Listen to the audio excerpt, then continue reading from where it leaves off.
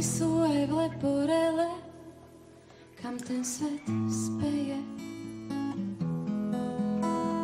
Rozum nie vždy ide s vekom, závislí sme vždy na niekom. Zaspávame vďaka liekom, čo robiť s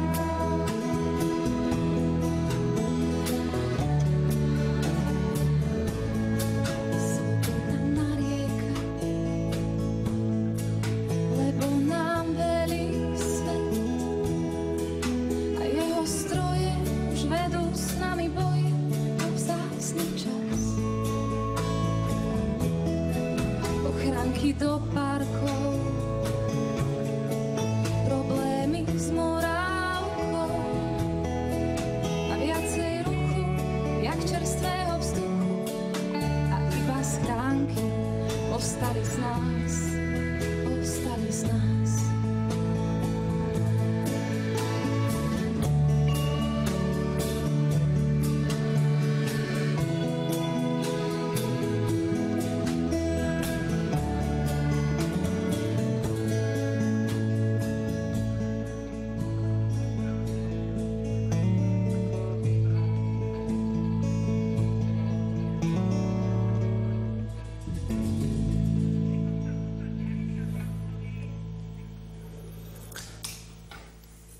Tak e, tento večer má taký pracovný názov, že prečo sa na Slovensku nejako nič nedieje, ale musíme ho hneď na úvod poopraviť, že stále sa tu rodia pekné a šikovné dievčatá. E, Toto bola Simona Martausová a chlapci od Jany Kiršner alebo od Jona- Joža Šeba alebo z rôznych iných zoskupení ešte nám dneska dva alebo trikrát zaspievajú.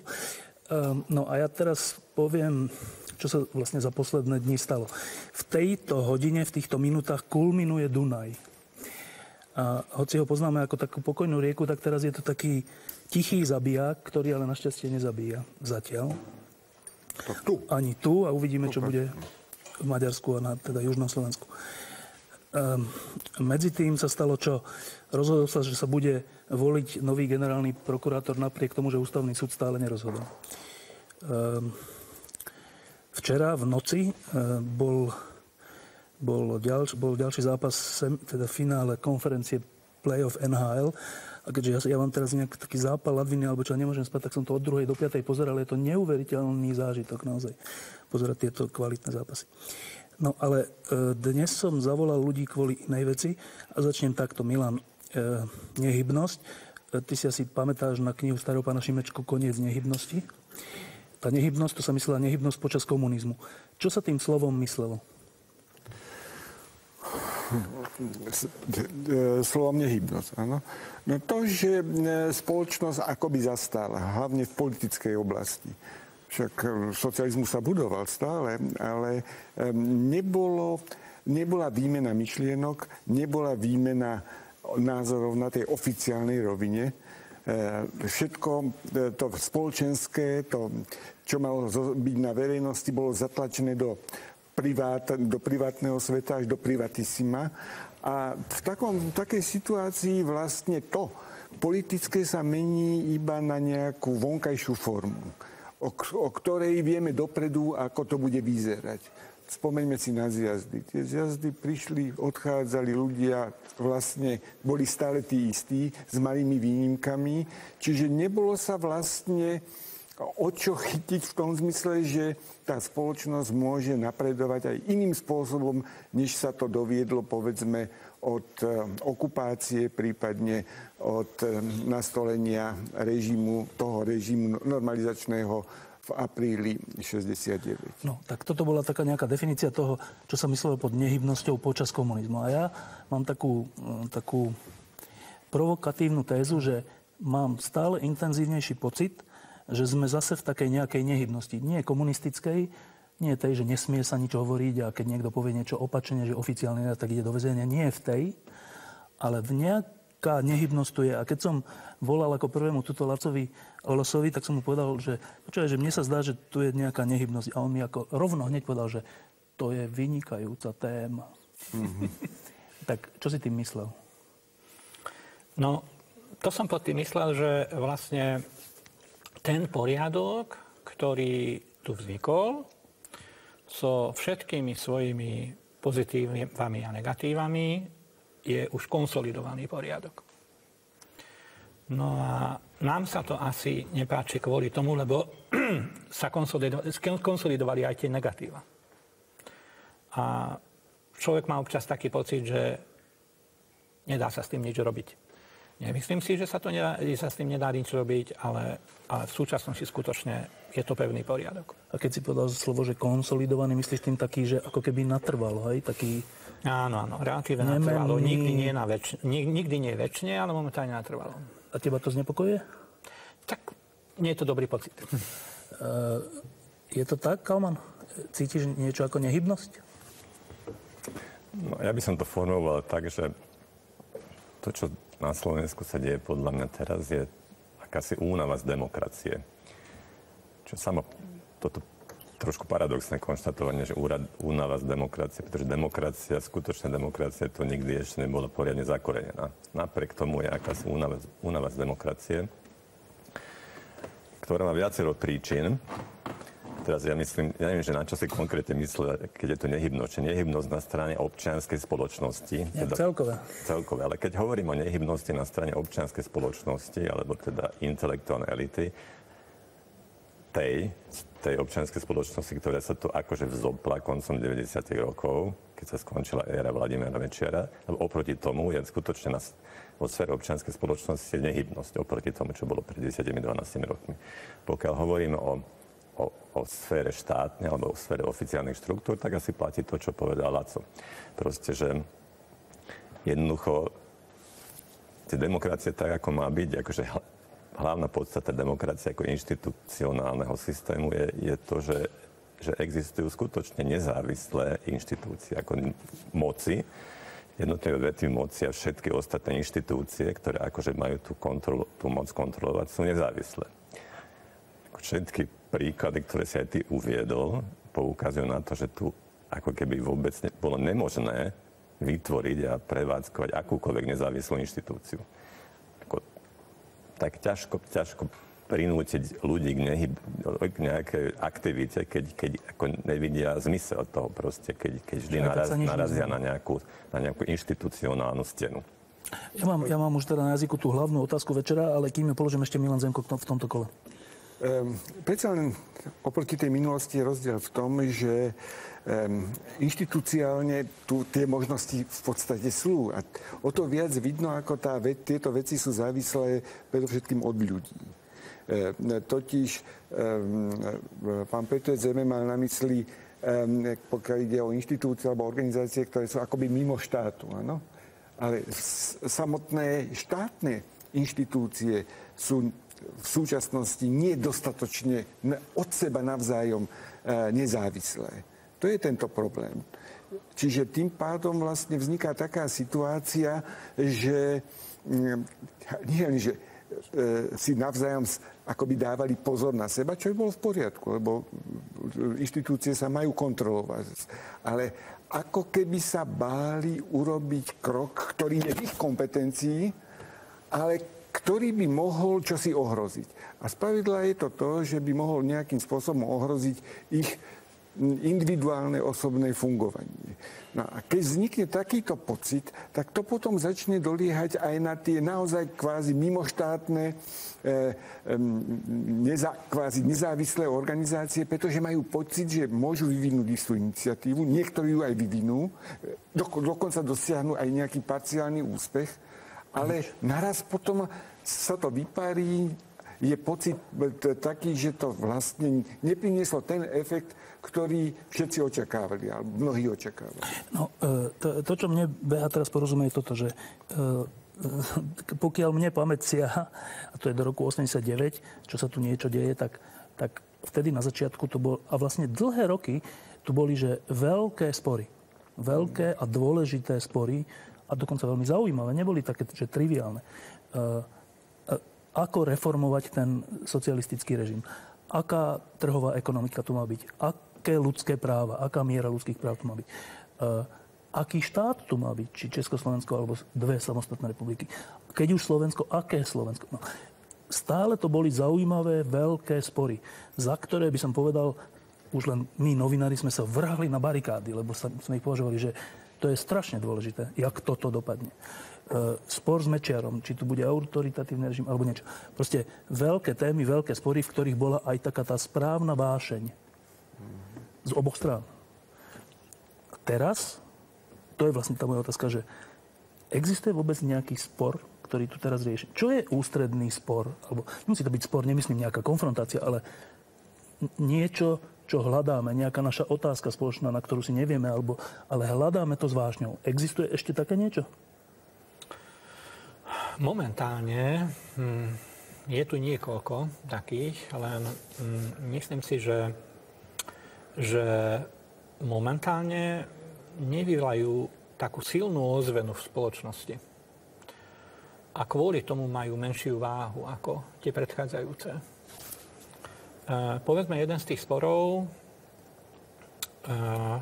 je spor oligarchizácie mocenského systému štátu. To je veľmi dôležitý spor, ale keďže momentálne ešte aký taký ekonomický rast, aká taká ekonomická stabilita, nevnímajú ľudia to tak, ako volačo, čo je bytostne e, dôležitá vec, ktorá sa ich priamo každý deň existenčne týka. Počkaj, myslíš pod tým oligarchizáciou, že aké kruhy, akí ľudia budú rozhodovať o rozhodujúcich ekonomických otázkach štátu? A, a všelijakých ďalších. Či to budú ďalších. volení politici, alebo bohatí ľudia, alebo, alebo, hej? alebo rôzne vplyvné skupiny, áno. E, je tu ďalší spor, a to sa týka Európskej únie, pochopiteľne, ako ďalej, čo bude so Slovenskom a s úniou. A je tu samozrejme stále ten spor tradičný, že čo so susedmi predovšetkým e, s Maďarskom a s nami, tunajšími Maďarmi. To je stále živý spor. A okrem toho je tu spor demokracie. Veď pred chvíľou si spomínal... E, Ústavný súd a tak ďalej. Áno, áno. Generálneho prokurátora. E, či to beží ďalej. Každý jeden z týchto sporov však narazí na, na mm, akúsi zdržanlivosť verejnosti. Lebo? Uh, tak musím trošku dlhšie, keď lebo... Najprv povedz tézu a ostatne potom sa do toho dostanem. Myslím si, že po 89. a hlavne po 92. tu boli také procesy, ktoré neumožnili to, aby tu, a dokonca ešte aj dávnejšie, aby tu vznikol ľud v západoeurópskom slova zmysle. No a demokracia vláda ľudu. Ešte jednou, vetou, že, ešte jednou vetou, čo ty myslíš, že ľud v západoeurópskom zmysle? No, tak v podstate E, klasická koncepcia vzniku demokracie v západnej Európe znie tak, že občania sa stanú občanmi tým, že opustia formálne, neformálne svoju prírodzenú pozíciu v prírodzenom stave, vytvoria občianskú spoločnosť tým, že odovzdajú čas svojej pôvodnej neobmedzenej suverenity štátu, tým vytvoria štát a druhú časť si ponechajú, to budú ich ľudské a občianské práva. E, štát potom sa má starať o ochranu ich práv, o rozširovanie ich práv a oni majú niekoľko, niekoľko povinností, okrem svojich práv, vytvárajú štát pod prostredníctvom volieb, kontrolujú štát pod svojich občianských aktivít a organizácií a doplnia štát, čiže preberú od štátu všetko, čo dokážu robiť mimo štátu lepšie. Dobre, a teda toto u nás no a, no a e, ľud v prvých západoeurópskych vnikajúcich sa demokraciách nevznikne len tým, že sa zmení systém, ale aj tým, že sú rôzne sily, ktoré tomu chcú zabrániť a ľud má dostatočnú silu na to, aby, aby sa presadil. Aby sa presadil. Prvýkrát v Nizozemsku, potom v Anglicku, potom v Amerike a tak ďalej. U nás sa tieto revolúcie nevydarili. To je tá téza? Skúsime s tým polemizovať. Milan. Totiž, samozrejme demokracia, ale e, tie západné demokracie sú predovšetkým liberálne demokracie. A tie liberálne demokracie, tá liber, liberálnosť tých demokracií spočíva práve na dôslednom rešpektovaní pravidiel a na dôslednom rešpektovaní dielby moci. A toto podľa mňa, tu sa opäť možno zopakujem, E, u nás dostatočne nefunguje. E, malý rešpekt k právu, to sú tie pravidlá. Samozrejme písané, aj nepísané. Od začiatku ale, od pádu bývalého režimu a nového režimu, ja som mal vždycky pocit, že na Slovensku ako keby prevládal taký ten, to príslovie nie najlepších tesárov, col sem, col tam, kramľa do pritiahne. To po prvé. Po druhé, tým, že sme do veľkej miery stále ešte vidiecký národ, tak platí taký princíp susedstva. Však dohodneme sa. A spravidla ide o dohody nie, nie so všeobecne rešpektovanými pravidlami. A keď platia takéto dohody, tak naozaj dochádza k tomu, čo naznačil aj pán Leš, že jednoducho tí silnejší sa presadzujú. To je tá oligarchizácia. Tá bola aj za komunizmu. To, tej sa povedal totalita. Ale vlastne vnútri tej totality takisto fungovali rôzne silnejšie a slabšie záujmové združenia a kvázi oligarchické zoskupenia, až po to predsedníctvo strany. No a toto ešte jednak sme nestrávili dostatočne a už znova sa tu vytvára na pod, podobnom princípe nová oligarchia, ktorá často nesie so sebou aj dedičstvo tej minulosti títo noví oligarchovia. Nerobme si v tejto veci ešte stále ilúzie, pretože neplatí, že je už 20 rokov alebo koľko po páde starého režimu. To je len 20 rokov. Najmä tým skôr, že ani pred tou demokraciou, ktorá bola, tá demokracia tiež nebola dostatočne silno zakonená. To teda opäť nadvezujem na to. A to neplatí iba podľa mňa o Slovensku a do, alebo Česku. To je, to je problém tejto stredovýchodnej Európy. No a teraz ja si pamätám tie novembrové námestia, kde boli aj také plagaty, že skoro až tak, že zrodil sa občan. Jasné, že to bolo... Jasné, bolo to taký, že sen, alebo predstava, že to tak bude. E, Láco hovorí, že sa to dodnes nestalo. Súhlasíš s tým? Samozrejme. Nestalo? Je to v procese, ale ten proces sa raz v istých chvíľach akoby zrýchlil a v istých chvíľach akoby stagnoval. A možno, že aj preto ten pocit nehybnosti je tu, že momentálne to stagnuje.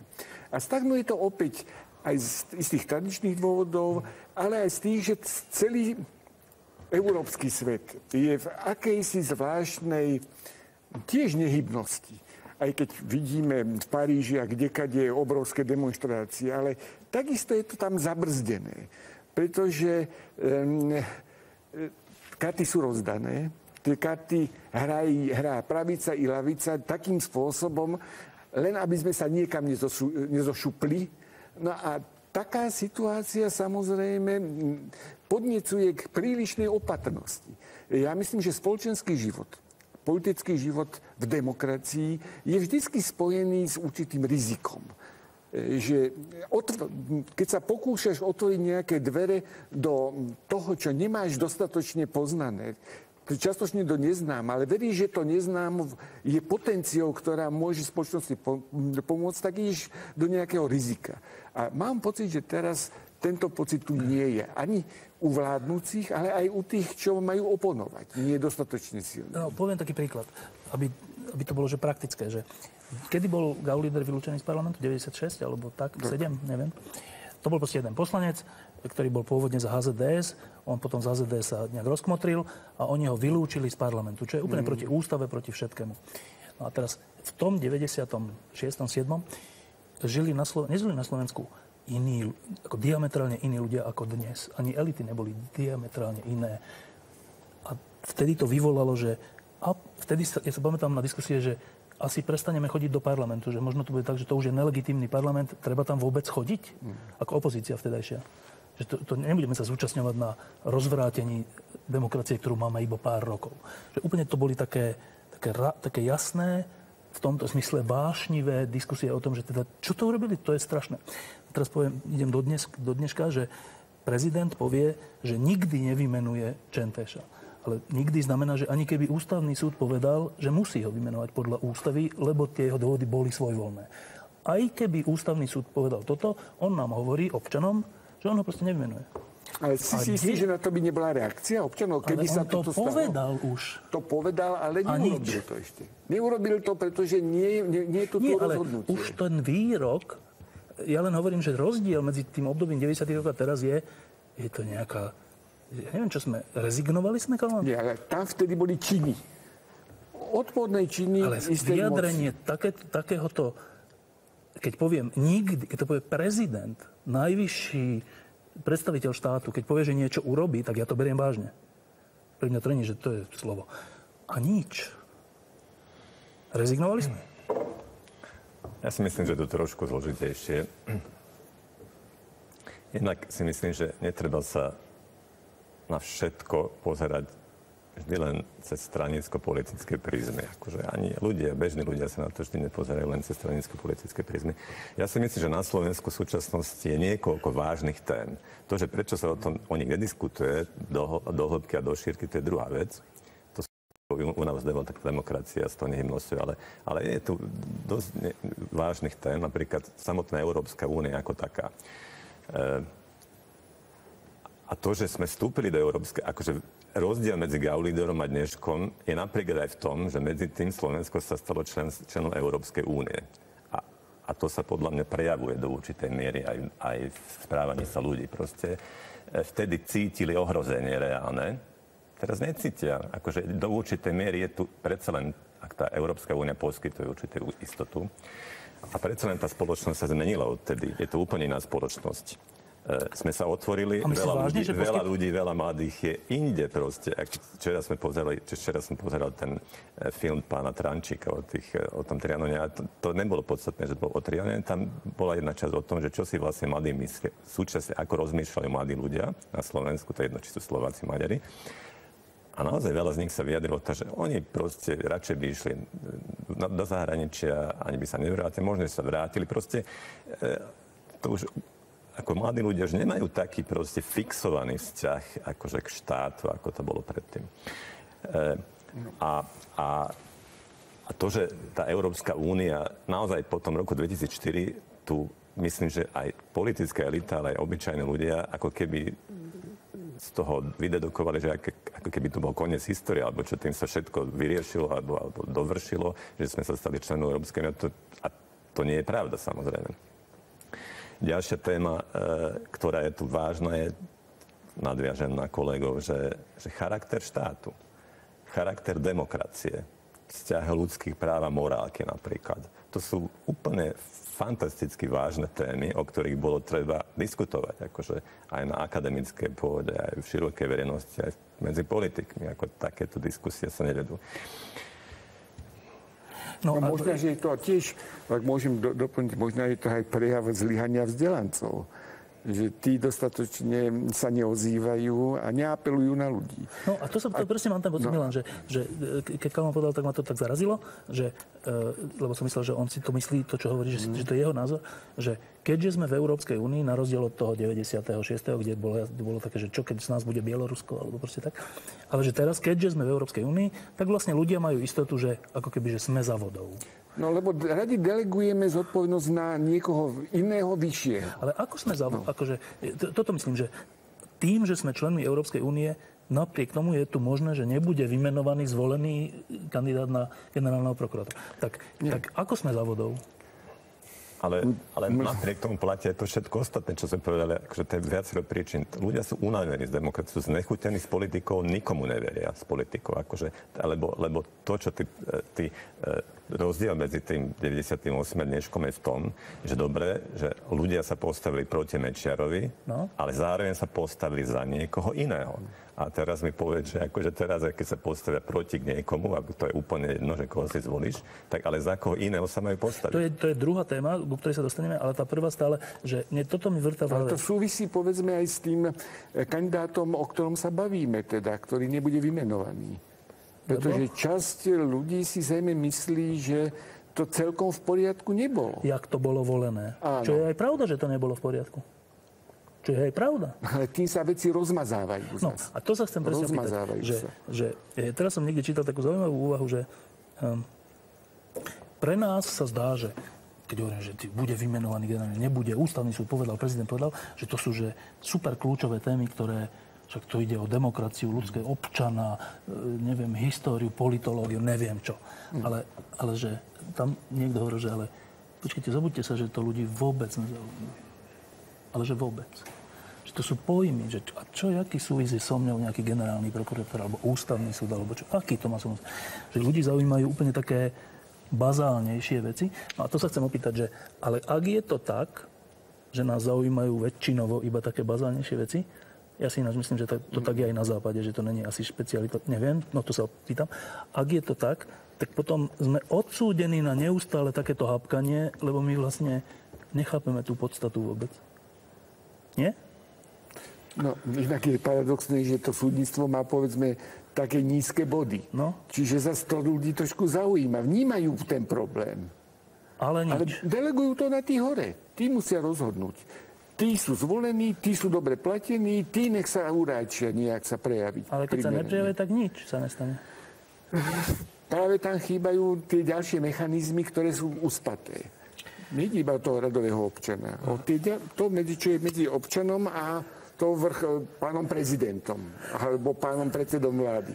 Tam je veľa poschodí a tie možná dostatočne nefungujú. Láslo, e, e, rozumieme my vôbec, v akom zriadení žijeme? Trošku áno. Skrátka, samozrejme, som presvedčený, že ľudia, povedzme, v Uzbekistane tomu rozumejú ešte menej. Takže sú tu rozdiely, pochopiteľne, nie sme na tom najhoršie. E,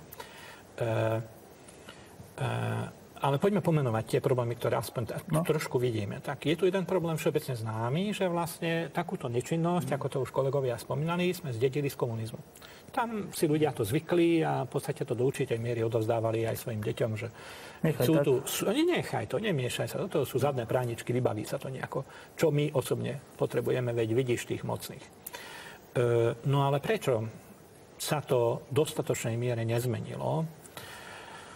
Uh, jeden z kľúčových momentov, uh, ktorý uh, moment alebo ktoré obdobie vytvára vzťah ľudu, konkrétne občanov, k celému politickému systému, je to obdobie, alebo ten moment, ako sa to volá v politickej vede, keď sa príjma ústava. Vzorom sú Spojené štáty americké, ale aj pochopiteľne aj inde môžeme hovoriť o podobnom procese, prebehne verejná diskusia, dlhá diskusia, verejná, nesmierne dôležitá je verejnosť tejto diskusie, kde sa preberú všetky možné alternatívy všetkých možných častiach ústavy, všetkých možných častí ústavy, z čoho čo vyplýva, čo aké následky má. E, zapoja sa do toho predstavitelia každej jednej dôležitejšej spoločenskej vrstvy a hľadá sa dohoda. Ústava nie je na to, aby jedna časť spoločnosti ovládla druhú časť, je na to, aby všetci mohli tvoriť slobodne tú spolo, slobodnú politickú, spolo, politickú spoločnosť vo všetkých svojich rozmanitostiach a, a rozdielnostiach. E, robilo sa to u nás? Vôbec nie. Ústava sa písala tuším, behom niekoľkých týždňov, keď sa dobre pamätám, volá, kde ani presne sa nevie. Áno, áno. A, my sa... a, a potom bola prijatá hotovo. Neskôršie z toho liezli problémy, lebo sa ukázalo, že tá ústava v kľúčových, kľúčových e, krízových situáciách nefunguje dobre. No ale žiadna ústava nefunguje dobre, keď za tým nestojí politická spoločnosť, že verejnosť. No a verejnosť sa vôbec nestotožní s ústavou. Keby sme sa opýtali ľudí, že koľky poznajú, čo v tej ústave vôbec nie, myslím, že výsledok by bol katastrofálny. A ty si myslíš, že na, na západe ľudia vedia, čo je v ich ústavách? V Spojených štátoch amerických áno. To sa to učia od malička, že? O, učia sa to od malička a, a, a myslím si, si, si, že aj v stabilných západných demokraciách, v Švajčiarsku, Švédsku a tak ďalej, určite, určite tom vedia oveľa viac. No, myslím, že to zložitejšie. E, e, to je jeden z príčin. Druhý z príčin je vôbec spôsob vzniku štátu, že už, už aj v tejto relácii tu bolo pretraktené veľa, veľa krát, že vlastne všetky prieskumy verejnej mienky jasne ukazovali, že väčšina chcela zachovať Československo. Neboli opýtaní plebiscít bol zastavený v podstate v parlamente, jednoducho ľud sa k tomu nemohol vyjadriť. No a mohli by som pokračovať ďalej vznikom politických strán, vlád a podobne. Ale ktoré, to, tie sa už vyvíjajú pochopiteľne kvôli týmto základom. Milan troška nesúhlasil?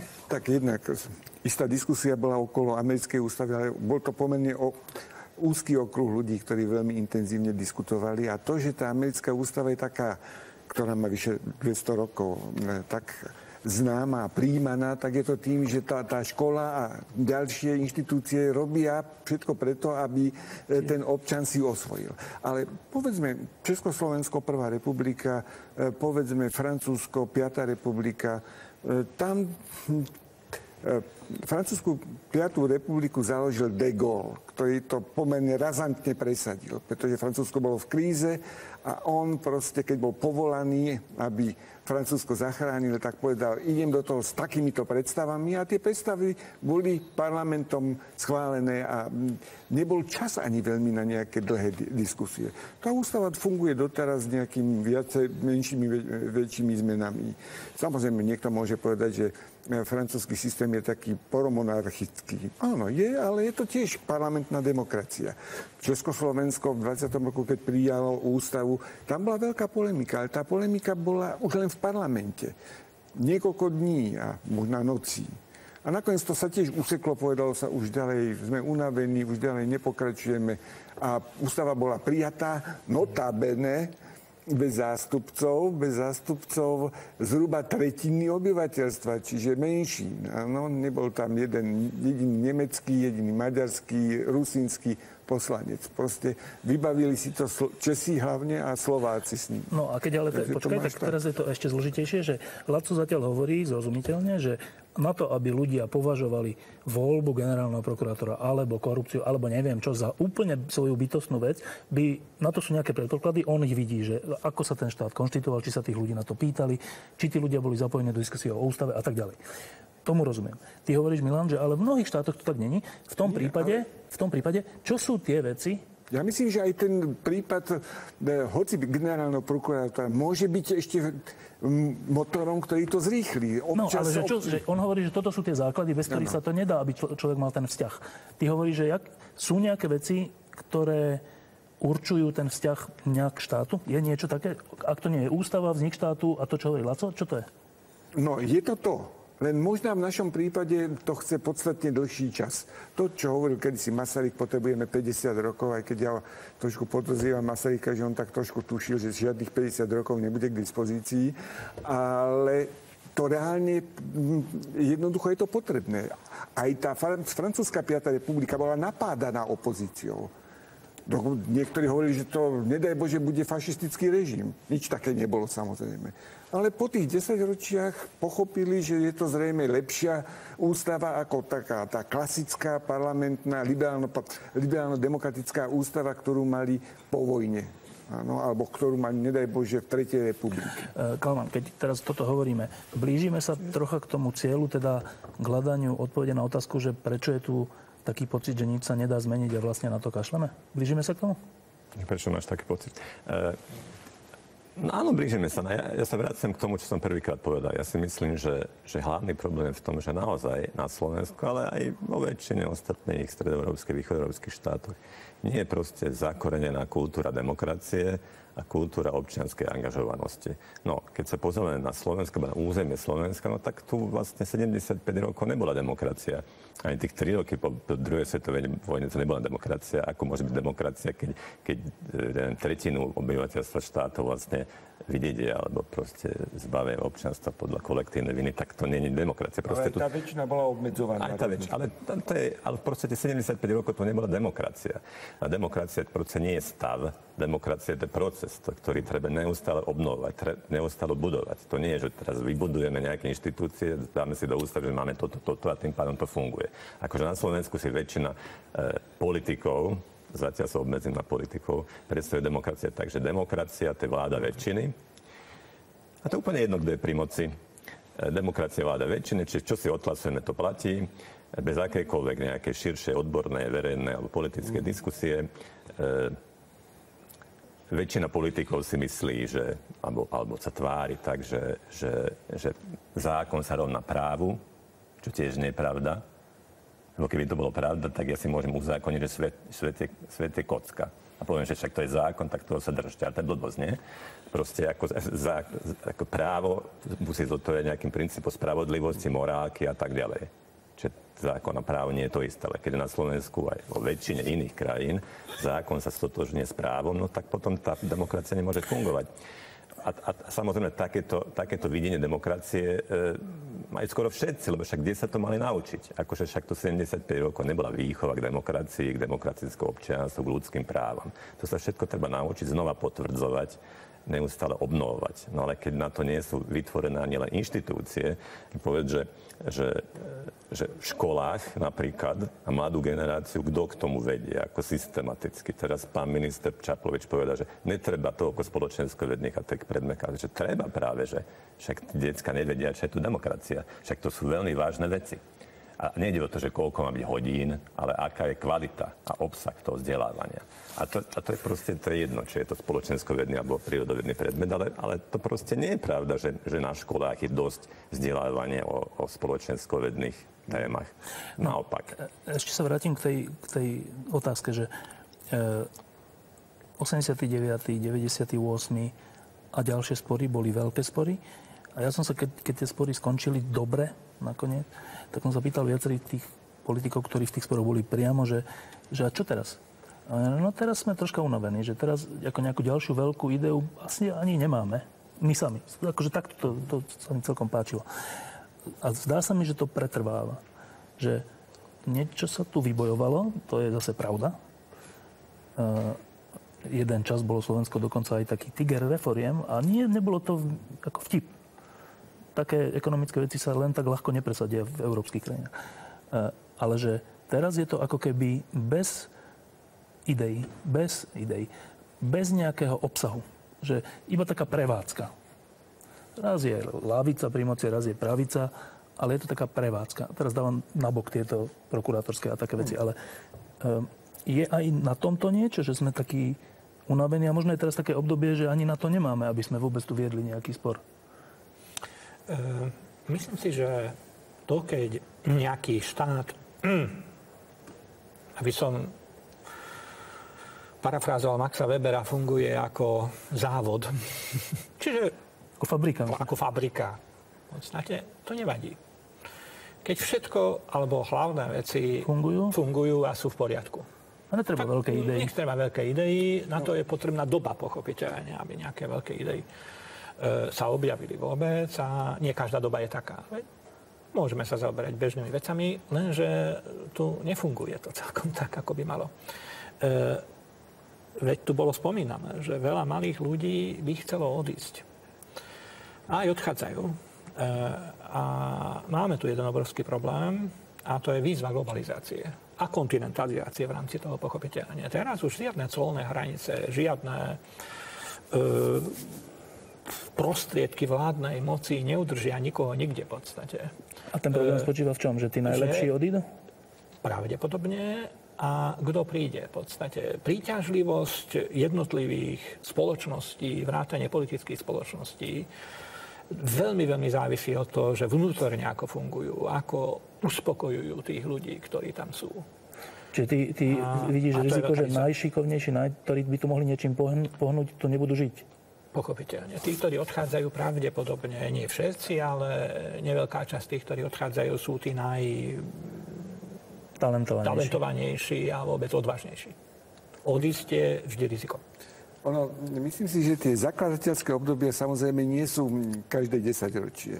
Ale možno, že u nás sa teraz chyluje to tejto obdobie predtým, takéto ticho, minimálne k určitému opravárenskému obdobiu. Jednoducho tie inštitúcie, to sme si povedali na začiatku, nefungujú, ako by mali mať.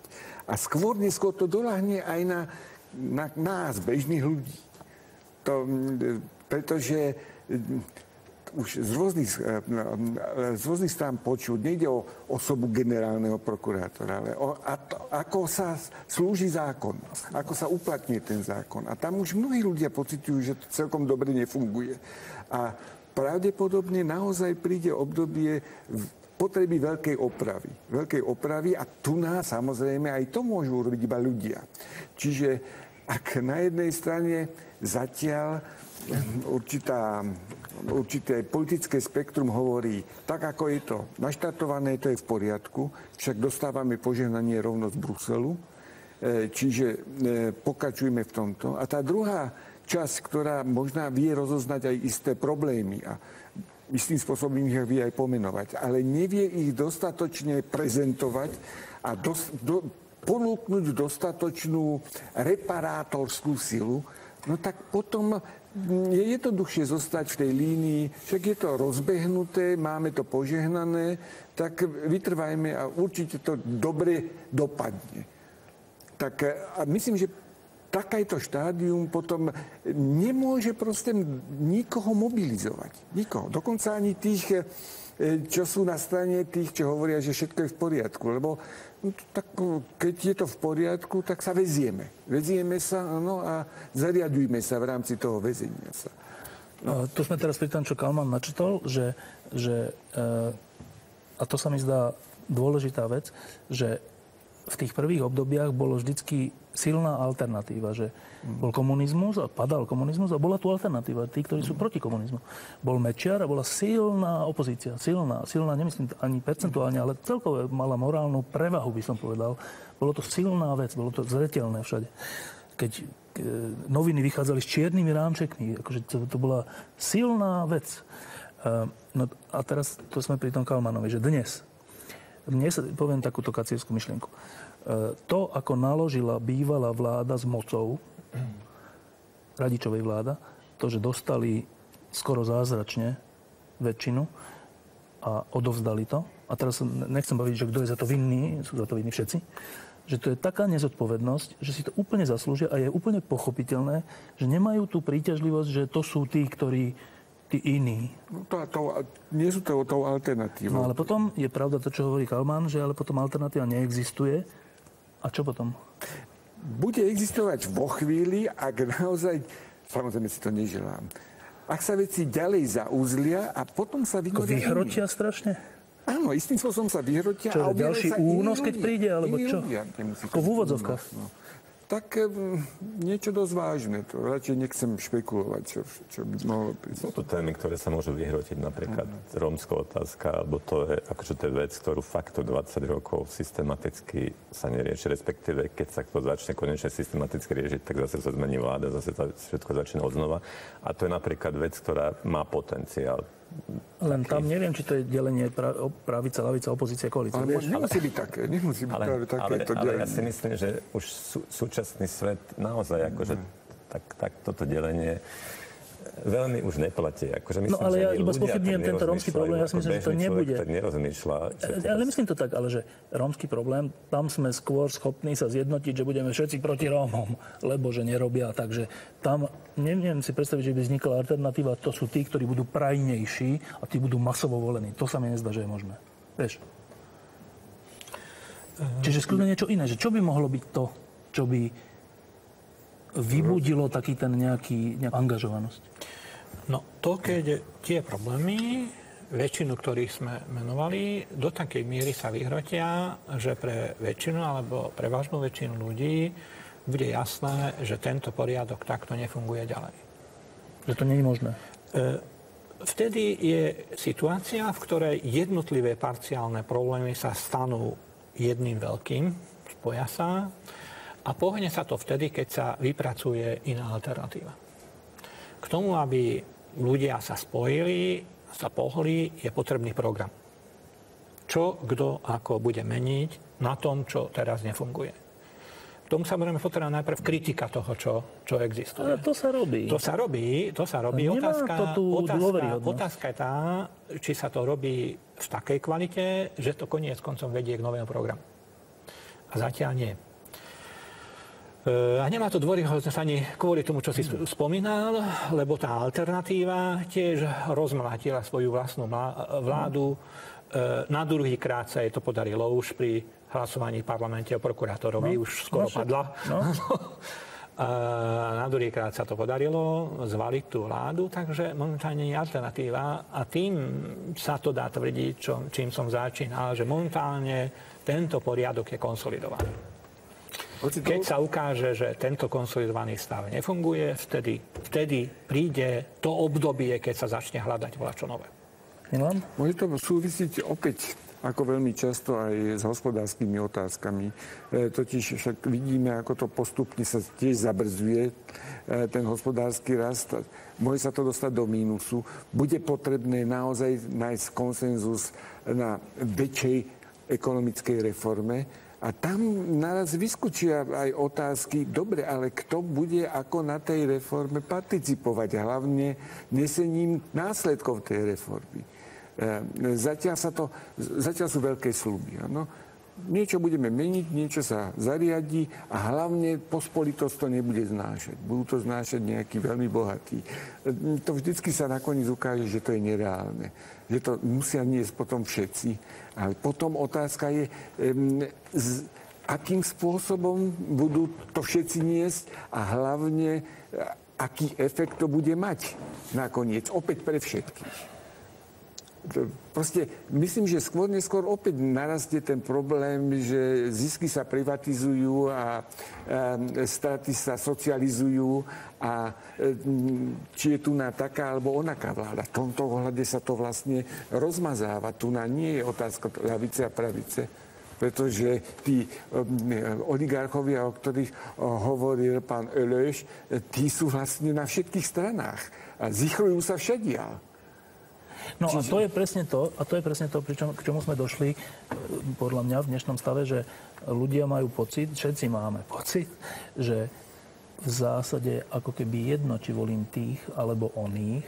Poprvé, ich sporí o ústavnosť, a čo sa ma až tak netýkajú, lebo tomu nerozumiem. A po druhé, aj tak sú za nimi všetkými tí istí ľudia a oni si tam tie svoje kšefty urobia. Čo ja s tým? No a teraz je, teraz je otázka. Je toto spravodlivý pohľad? Je to naozaj tak? Všetci sú rovnakí? No, trošku akože mi vadí, že stále sa pohybuje na tej úrovni vysokej politiky, ako keby proste všetko, fakt všetko štáte, spoločnosti a od najnižšej úrovne až po najvyššiu fakt záležalo len od vysokej politiky. Ale myslím, že ten vzťah občianskej spoločnosti a vzťah občianskej angažovanosti a vysokej politiky je trošku štrukturovanejší a trošku komplikovanejší.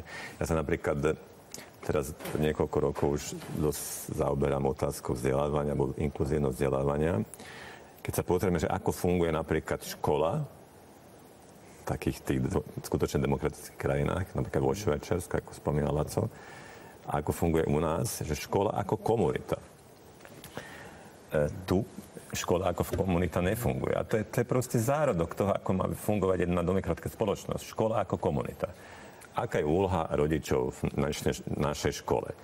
Však e, rodičovské združenie u nás ako vyzerá proste. Zvolajú to raz za 4 roka, riešia sa tam disciplína, či Jožko vybil okno, alebo čo. Nerieši sa tam vôbec podstata, obsah. Akože ako keby ani tí rodičia, ani tí učiteľ to nemali záujem, že, o čom, že, aby, že škola je vlastne o tom, že poskytovať kvalitné vzdelávanie a nejakú, nejaké hodnoty tým deťom. A keby škola bola o tom, že o peniazoch, o, disciplíne a o, o podružných veciach. Čiže normálna škola vyzerá tak, že rodičia sú zaangažovaní do života školy. Aj učiteľe, aj tá samotná komunita. U nás zriadovateľská právomoc je na obci, ale čo tá obec vlastne s tou školou?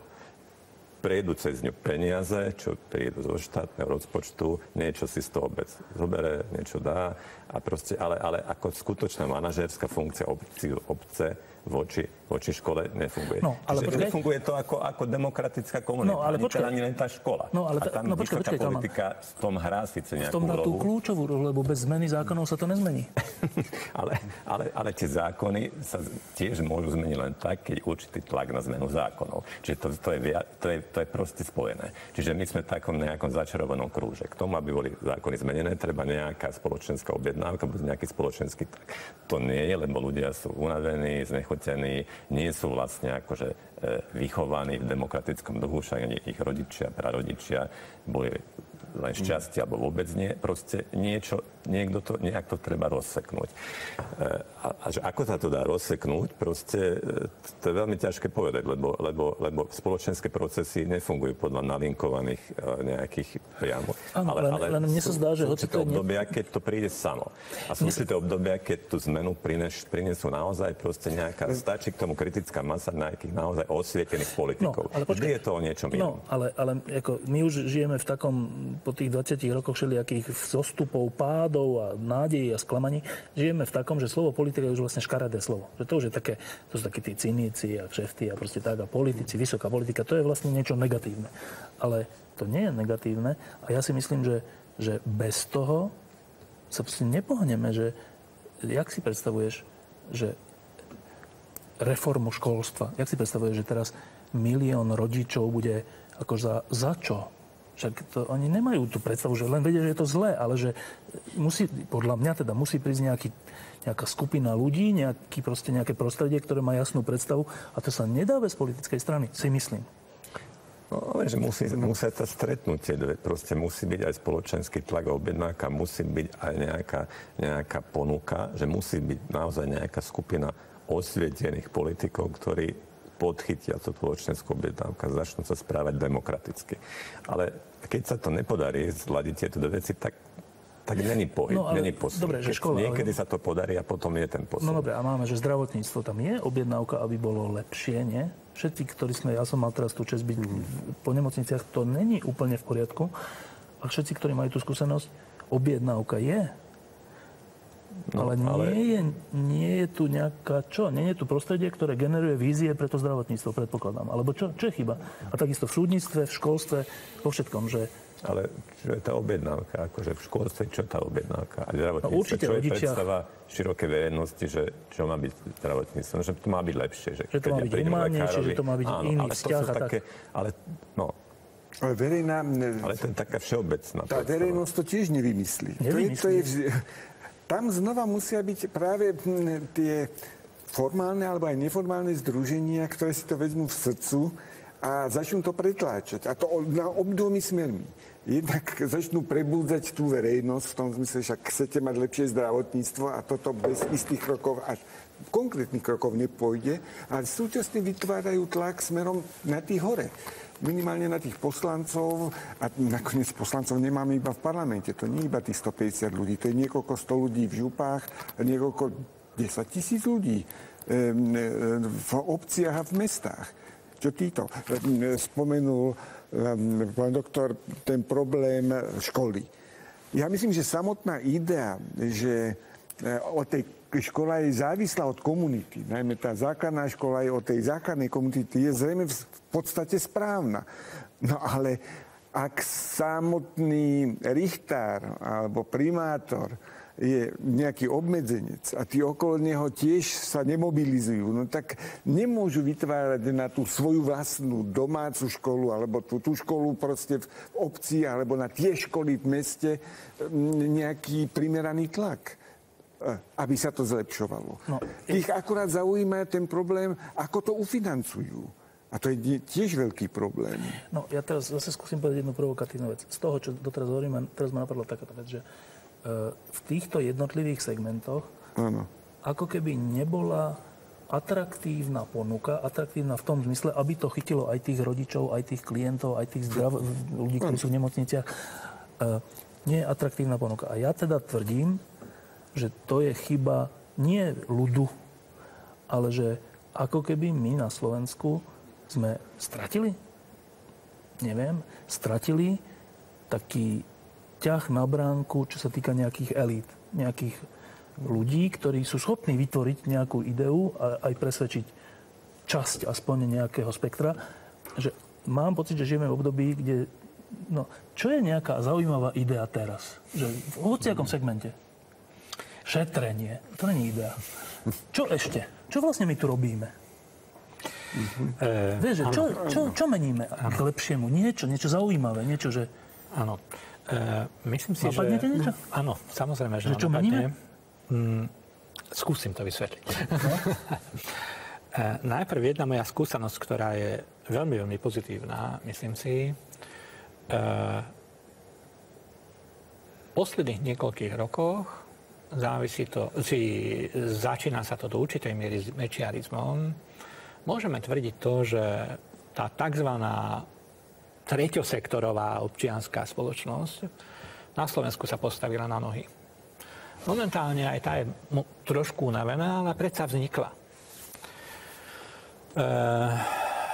viacerým z našich kolegov, povedzme e, v rámci rôznych občianských združení e, maďarských na Slovensku, sa podarilo vytvoriť jeden orgán, e, ktorý teraz už združuje viac ako 100 občianských združení. Začalo sa to s malou časťou tohto množstva, sústavne to rastie a rastie teraz je to už nad 100. Jednoducho pociťujú to, že v určitých veciach treba vykročiť spoločne. A tento raz myslím si, že bude pokračovať, ale samozrejme má svoje matematické hranice, pochopiteľne. E, rozhodnúť sa treba v mikrosvete o dvoch veciach. Jednak nechám to, čo tu beží, len tak bežať, alebo keďže, keď to matematicky presne zrátam, žijem len raz, chcem s tým veľa čo urobiť. A je veľmi veľa ľudí, takých ľudí, ktorí chcú s tým veľa čo urobiť. Vedia, že táto únava nevedie nikam podstate. E, treba sa spojiť, sa združiť a pustiť sa do toho. To je ten mikrosvet. Ten makrosvet je zaujímavejší, myslím si, alebo je to zaujímavšie a nemenej zaujímavý ako tento mikrosvet. E, pre nás stredoeurópanov, vrátane Slovenska, e, pred nami stojí jedna veľká otázka. Čo chceme s vyspelým svetom dobehnúť, prípadne predbehnúť, alebo len tak nasledovať? V čom? Áno, áno, áno, áno, áno. Len tak sa ťahať nimi. Alebo nie, urobiť to, čo urobili v histórii Japonci, urobili malé štáty Fíni. východnej Ázie, Fíni a tak ďalej. Celá Skandinávia, veď Skandinávia pôvodne bola, e, bol región za pánom Bohom, vždy v, v histórii ľudstva. A pozrime sa na to teraz, participatívna demokracia. O tom tu už ty. Školstvo, Veď, veď, ale celá demokracia nesmie participatívna. Ľudia sa to zapájajú do všeličo možno na rôznych. Malé krajiny. Malé krajiny, relatívne. E, e, čo chceme? Vie sa alebo dobehnúť, predbehnúť. Chceme sa stať najlepšími alebo nie. Niečom. Je, niečo, pochopiteľne. Ale je tu veľa vecí, v čom by sme sa mohli stať. A odpoveď? Je, to je len moja, môj návrh. No, ja teraz tuším, sa. že keď sa opýtal Milana Zemka, historika, že ak to bolo v histórii, tak vždy to bolo tak, že hlavne prežiť. Bol, ale nie celkom. Myslím, že tu tie ambície boli tiež, že, povedzme 30. roky v medzivojnovom období, to bol vzrast v Čechách veľmi veľký, ale aj na Slovensku. Nakoniec tí Slováci eh, dokázali to, čo predtým nedokázali 100-150 rokov. Jednoducho. Po každej stránke. Po stránke toho, že sa dokázali spoločensky organizovať, že začali kvázi dobiehať e, v umení, v literatúre, proste iný svet, ostatný svet. Samozrejme, nie sú to, neboli Nobelové ceny ani nič podobné, ale proste nebol to ten prepadák. Áno, ale ťahaný Čechmi, povedzme si. Nie len. Nie len? Nie len. Začali sa pozerať ľudia aj širšie. Veď toto je to, že bohužiaľ to bolo potom prerušené a opäť e, trošku, trošku to začínalo chytať opäť dých po 45. roku, no ale píše 48. rok a mnohí, ktorí sa ukazovali veľmi nádejne, tak neskončili najlepšie. Čiže boli tu na potenci- nielen potenciálne, aj reálne isté procesy, ktoré k niekam smerovali aj na tomto malom Slovensku. E, teraz si dáme za chvíľku druhú pesničku. E, Paťa zavolá kapelu. A ja ešte teda toto dokončím to kolo, lebo toto ma úplne zaujíma aj Kalman, ty, aj ty, že e, to, čo si ty, Laco, povedal, ja z toho cítim toto. Či my vôbec máme sebavedomie, sebavedomie základné, že, má, že vieme niečo ponúknuť, vieme niečo vygenerovať, vieme nejakú myšlienku originálnu vytvoriť, alebo my sme iba takí, že ja, tak čo, je, čo teraz hovoria Nemci, že šetriť, tak šetríme. A keď budú Francúzi, tak čo treba, trocha treba investovať, tak investujme. Iba takí napodobovači. No a to je zaujímavé. To, ináč teraz skúste vy dvaja Maďari povedať, že v tomto sa líšime s Maďarskom, čo sa týka takéhoto sebavedomia, že niečo nové priniesť. No, e, myslím si, že e, sú tu určité kultúrne rozdiely, pochopiteľne. Maďarská kultúra z času na čas vyprodukuje velikáno, no, ale čo sa týka no? mentality, čo sa týka mentality toho, toho či dobehnúť, predbehnúť, alebo len tak, tak moment, momentálne myslím si, že nie.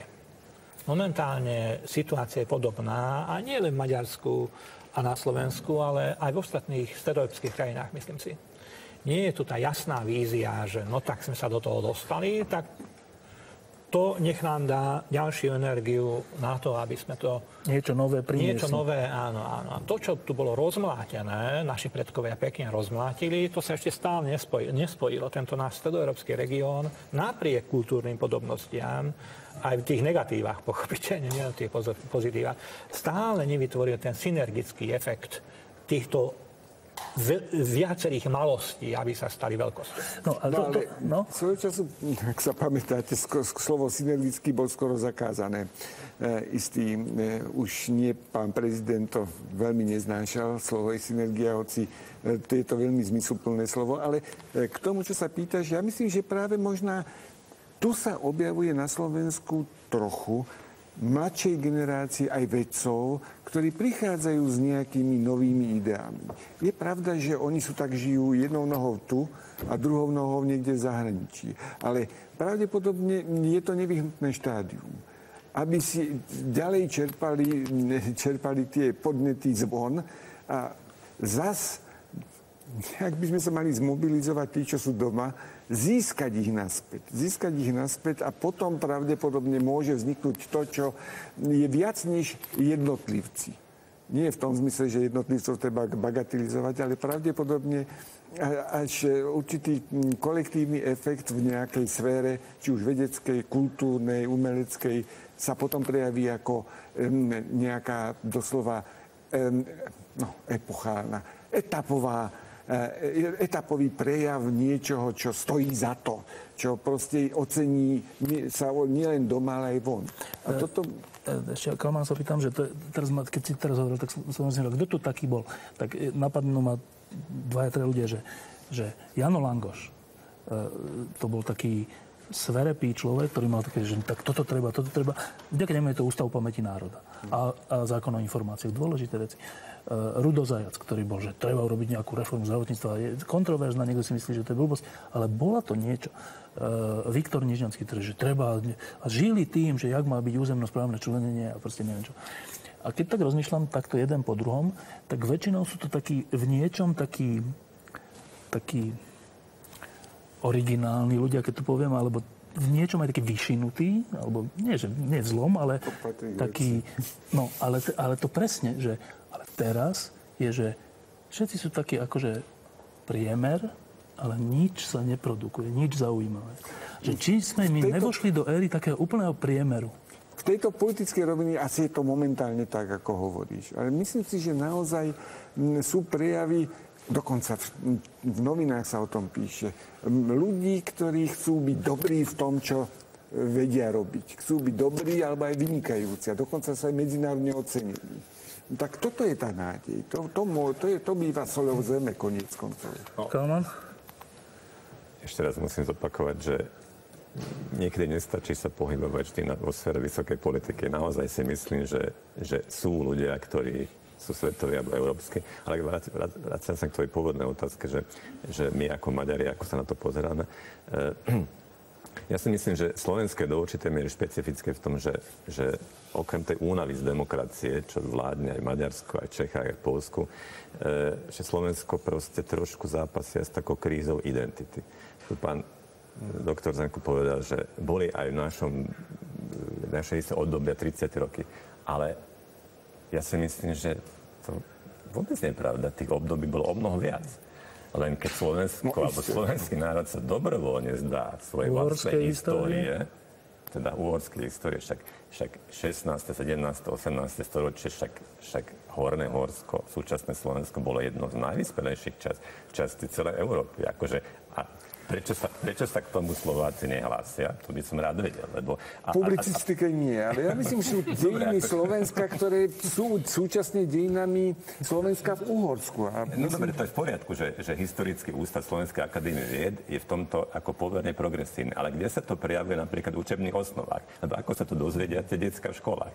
Ako, ako začnú oni ináč rozmýšľať? To nestačí, že 10 historikov na vašom ústave tak rozmýšľa. E, a teda ja to nevidím, že sa to nejak prejavuje, toto nové historické vedomie proste v školách alebo učebných osnovách.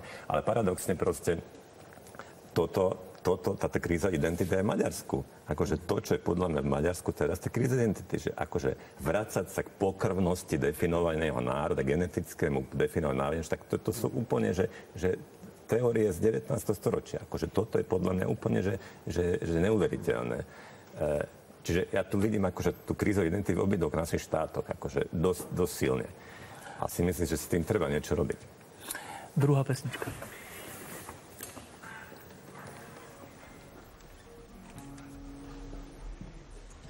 Chcem úplne normálny život a normálne dni chcem a veľa. Chalúbku v horách a záhradu so susedmi zdieľať. Len tak objať si muža a mať pocit, že mám kam ísť. Len tak objať si muža a mať pocit,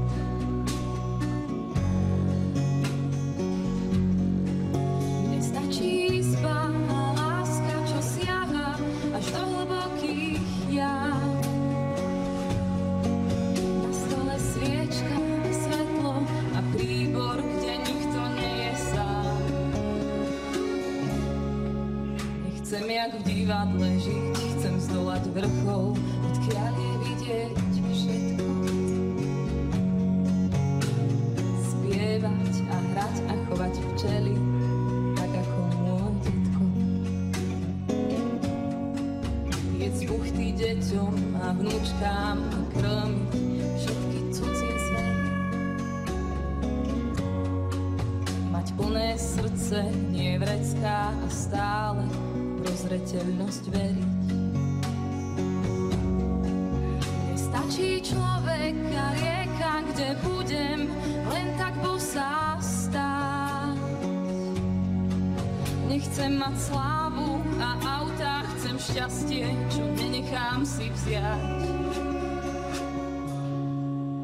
žiadne konta splátky a zmluvy a zaprataný dvor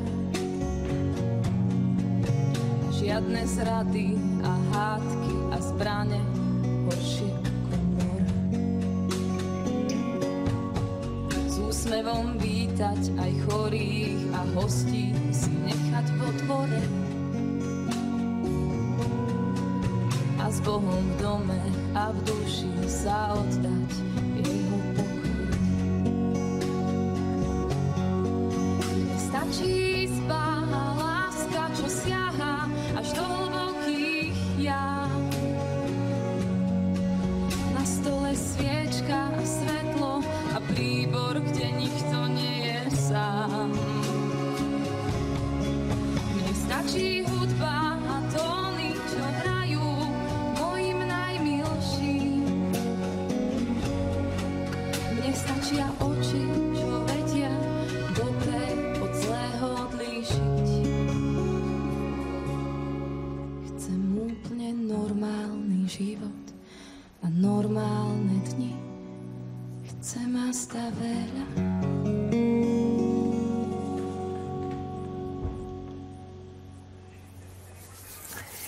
Druhá pesnička Simony Martansovej a jej kapely. E, ešte nám zahráte? Áno. Tešíme sa. No, e, vy dvaja, e, ma bude teraz zaujímať Kalman a Láslo, e, jedna z tých nehybností, a tá je pre mňa úplne taká paradoxná, je, že v Maďarsku vládne Orbán, u nás vládne Smer, obidve jednostranové vlády. A malo sa za to, že keď tieto dve vlády sa chopia moci, tak nastane problém slovensko-maďarský, lebo všelijaké nacionalistické prúdy a všeličo. A je úplne ticho. Dostaneme sa k tomu, že včera rezignoval eh, spolnomocnenec vlády Láslo Nať, ale k tomu tichu. Máte na to jednotlivé, jednoduché vysvetlenie? Tak nie sú časté škandály. To chápeš pod tikom, predpokladám. Nič sa nerieši slovensko-maďarské. Riešiť sa nič nerieši. E, tak um, pár vecí sa rieši. E, rôzne prechody cez hraníc sa dohodli. To sú dôležité veci mimochodom. Mosty, nejaké mosty sa budú stavať, cesty sa budú pospájať, rôzne energetické dohody sú, bezpečnostné dohody a podobne sú. E, čo sa nerieši, to sú tie klasické národné problémy. To je pravda. A jak to? E, takže pravdepodobne maďarská vláda si neželá konflikt a slovenská vláda na druhej strane tieto otázky zmrazila. Dôvod? Nechce s nimi pohnúť. E, dôvod to, že Kríza? veľmi, veľmi ich obmedzovať nechce, lebo tým by vyvolal konflikty a rozširovať práva vonkoncom nechce. No, e, téza. E, nie je to preto, že vzhľadom k tomu, že je ekonomická kríza a vzhľadom k tomu, že my proste chceme byť súčasťou toho jadra európskeho, ktoré možno vznikne, tak musíme byť aj v takýchto veciach konformní? Je, je to možné. A z maďarskej strany tam to nevidím ako tento? E, maďarskej strany tiež je tam, sú tam ekonomické problémy, pochopiteľne. A vtedy je výhodné mať nepriateľa? Nie v každom prípade. Nie v každom prípade. E, myslím si, že už dospeli tieto vzťahy do takého štádia, v ktorom štádiu tieto ekonomiky, infraštruktúry sú do takej miery prepojené, že treba s tým narávať opatrne. Áno, Kalman? Tak ja si myslím, že, že súčasná slovenská, súčasná maďarská vláda majú dosť veľa spoločných záujmov. Proste do, do značnej miery ich, ich pohľad na štát, na fungovanie štátu je veľmi podobné. Však niektoré procesy sú veľmi podobné. Centralizácia aj verejnej správy, aj v školstve, čo teda u nás ešte, chvala Bohu, nedošlo. Aj v Maďarsku tomu už došlo pred, pred dvoma rokmi. Proste presne to, čo tuto pán minister zahlásil, že ideme zrušiť, e, ideme zobrať riadovateľské právoci od obcí, ideme to centralizovať. To, to v Maďarsku už prešlo. Že sú, sú určité spoločné záujmy a spoločné pohľady na veci potom, že, že e, a so, so, so, samozrejme sú aj spoločné nejaké ekonomické záujmy, ako, alebo zahranično-politické záujmy však. Ale, ale neviem, že, že, že stáva si do tej polohy, že, že či potrebuje Orbán nepriateľa. Nepotrebuje Orbán. Ja si myslím, že, že to si už vyskúšal. Ja si myslím, že pokiaľ potrebuje nepriateľa, tak ho má doma tak tomu stačí ten nepriateľ, čo, čo má doma. A ja si myslím, že aj, aj tie predošlé volebné cykly ukázali, že, že s otázkou zahraničných Maďarov sa Maďarsku akože nejak nedá, nedá vyhrávať voľby. To môže priniesť zo pár, zo pár hlasov, zo pár percent hlasov, ale s tým sa nedá vyhrávať voľby. Proste on, a, keď potre, a keď rozmýšľa tak, že, že potrebuje nepriateľ, tak ho má doma. Tak myslím, že k tomu nepotrebuje akože Slovensko. E, a že prečo sa neriešia e, aspoň tie slovensko-maďarské záležitosti. No, ja ti úprimne poviem, že ja by som nechcel, aby napríklad poviem teraz úplne ten, ten extrémny e, príklad alebo, alebo tému, ktorá na Slovensku vyvala vážne, že Benešové dekrety. Ja nechcem, aby Benešové, alebo otázku kolektívnej viny Maďarov na Slovensku sa riešilo v nejakých medzinárodných bilaterálnych vzťahoch, že to je otázka vnútroštátna. Ja očakávam od môjho štátu, lebo toto je môj štát, od mojej politickej alebo štátnej reprezentácie, aby to vyriešila. Lebo ja som občan tohto štátu, to je otázka ľudských práv na Slovensku, to je otázka chápanie demokracie na Slovensku, takisto ako otázka kolektívnej viny, aj otázka menšinových práv a jazykových práv všetkých možných ja, ja vlastne ani neočakávam, že toto bude riešiť Fico alebo kdokoľvek iný, s Orbánom, kdokoľvek iným. To je vnútroštátna otázka chápanie, chápania demokracie a chápania ľudských práv. A to, a, a, a, a, to že či to, či to môj štát, alebo teda moja vláda, alebo neviem kto, rieši demokraticky, to je jej, jej, jej zrkadlo. To nie je zrkadlo ani Orbána, nikoho iného. To, to samozrejme neznamená, že, že, že sa to nemôže riešiť na diplomatické úrovni, však medzinárodné právo ľudských práv dovoluje, aby sa aj vyjadrili jednotlivé štáty. Takisto sa môže aj otázka menšinových práv na Slovensku vyjadriť do ktorýkoľvek iný štát Euró- Rady Európy alebo OSN. Však, však máme predsa aj v rámci OBS na to špeciálne mechanizmy. To samo o sebe, že sa k tomu vyjadrujú, to nie, ale, ale napriek tomu ja ti hovorím, že ja očakávam, že to bude riešiť môj štát, Jasne. nie uh, druhý štát. Milan, ty si toto ticho medzi Slovenskom a Maďarskom za týchto vlád očakával? Z počiatku nie, ale až, až tak ma to veľmi neprekvapuje, pretože naozaj zdá sa mi, že najmä pokiaľ ide o tú ekonomickú sféru, e, tak tam ako keby Slovensko vnímalo Maďarsko ako istý testovací priestor. Čo všetko sa dá urobiť v zmysle posilňovania štátnej moci e, v rámci Európskej únie. Čo môže prejsť a čo už prejsť nemôže keďže premiér Orbán sa do toho pustil pomerne veľkou chuťou, tak prečo ho nenechať to robiť? Ukáže sa, že čo z toho e, toho môže aj nám ako vyhovovať a čo nám to môže priniesť. A pokiaľ ide o tie vzťahy vnútroslovenské, tak e, e, naozaj by sa mali riešiť samozrejme na Slovensku nezabúdajme ale na to, že dobré vzťahy medzi Nemeckom a Francúzskom, povedzme, sú založené na tom, že Nemci sa nejako nepletú Francúzom do otázok Alsaska Lotrinska. No a nepletú sa do toho už niekoľko desaťročí. Čo má jeden z efektov toho je, že vlastne ty v Alsasku chodíš e, po mestách, ktoré majú v podstate nemecké názvy, ale počuješ v podstate hlavne francúzštinu. Takže a tí Nemci to zobrali na vedomie, pretože chcú e, proste chceli zlikvidovať toho tzv. dedičného nepriateľa. E, toto sa celkom, myslím si, nedarí a nemôže podariť, práve preto, že maďarská strana do istých vecí vstupuje aj ako advokát um, menšiny, čiže vstupuje do vnútroslovenských vzťahov. To podľa mňa nemôže na druhej strane tie vnútro slovensko-maďarské vzťahy eh, zlepšiť. Po, zlepšiť áno, pretože ja, to... ale vstupuje stále menej, nie?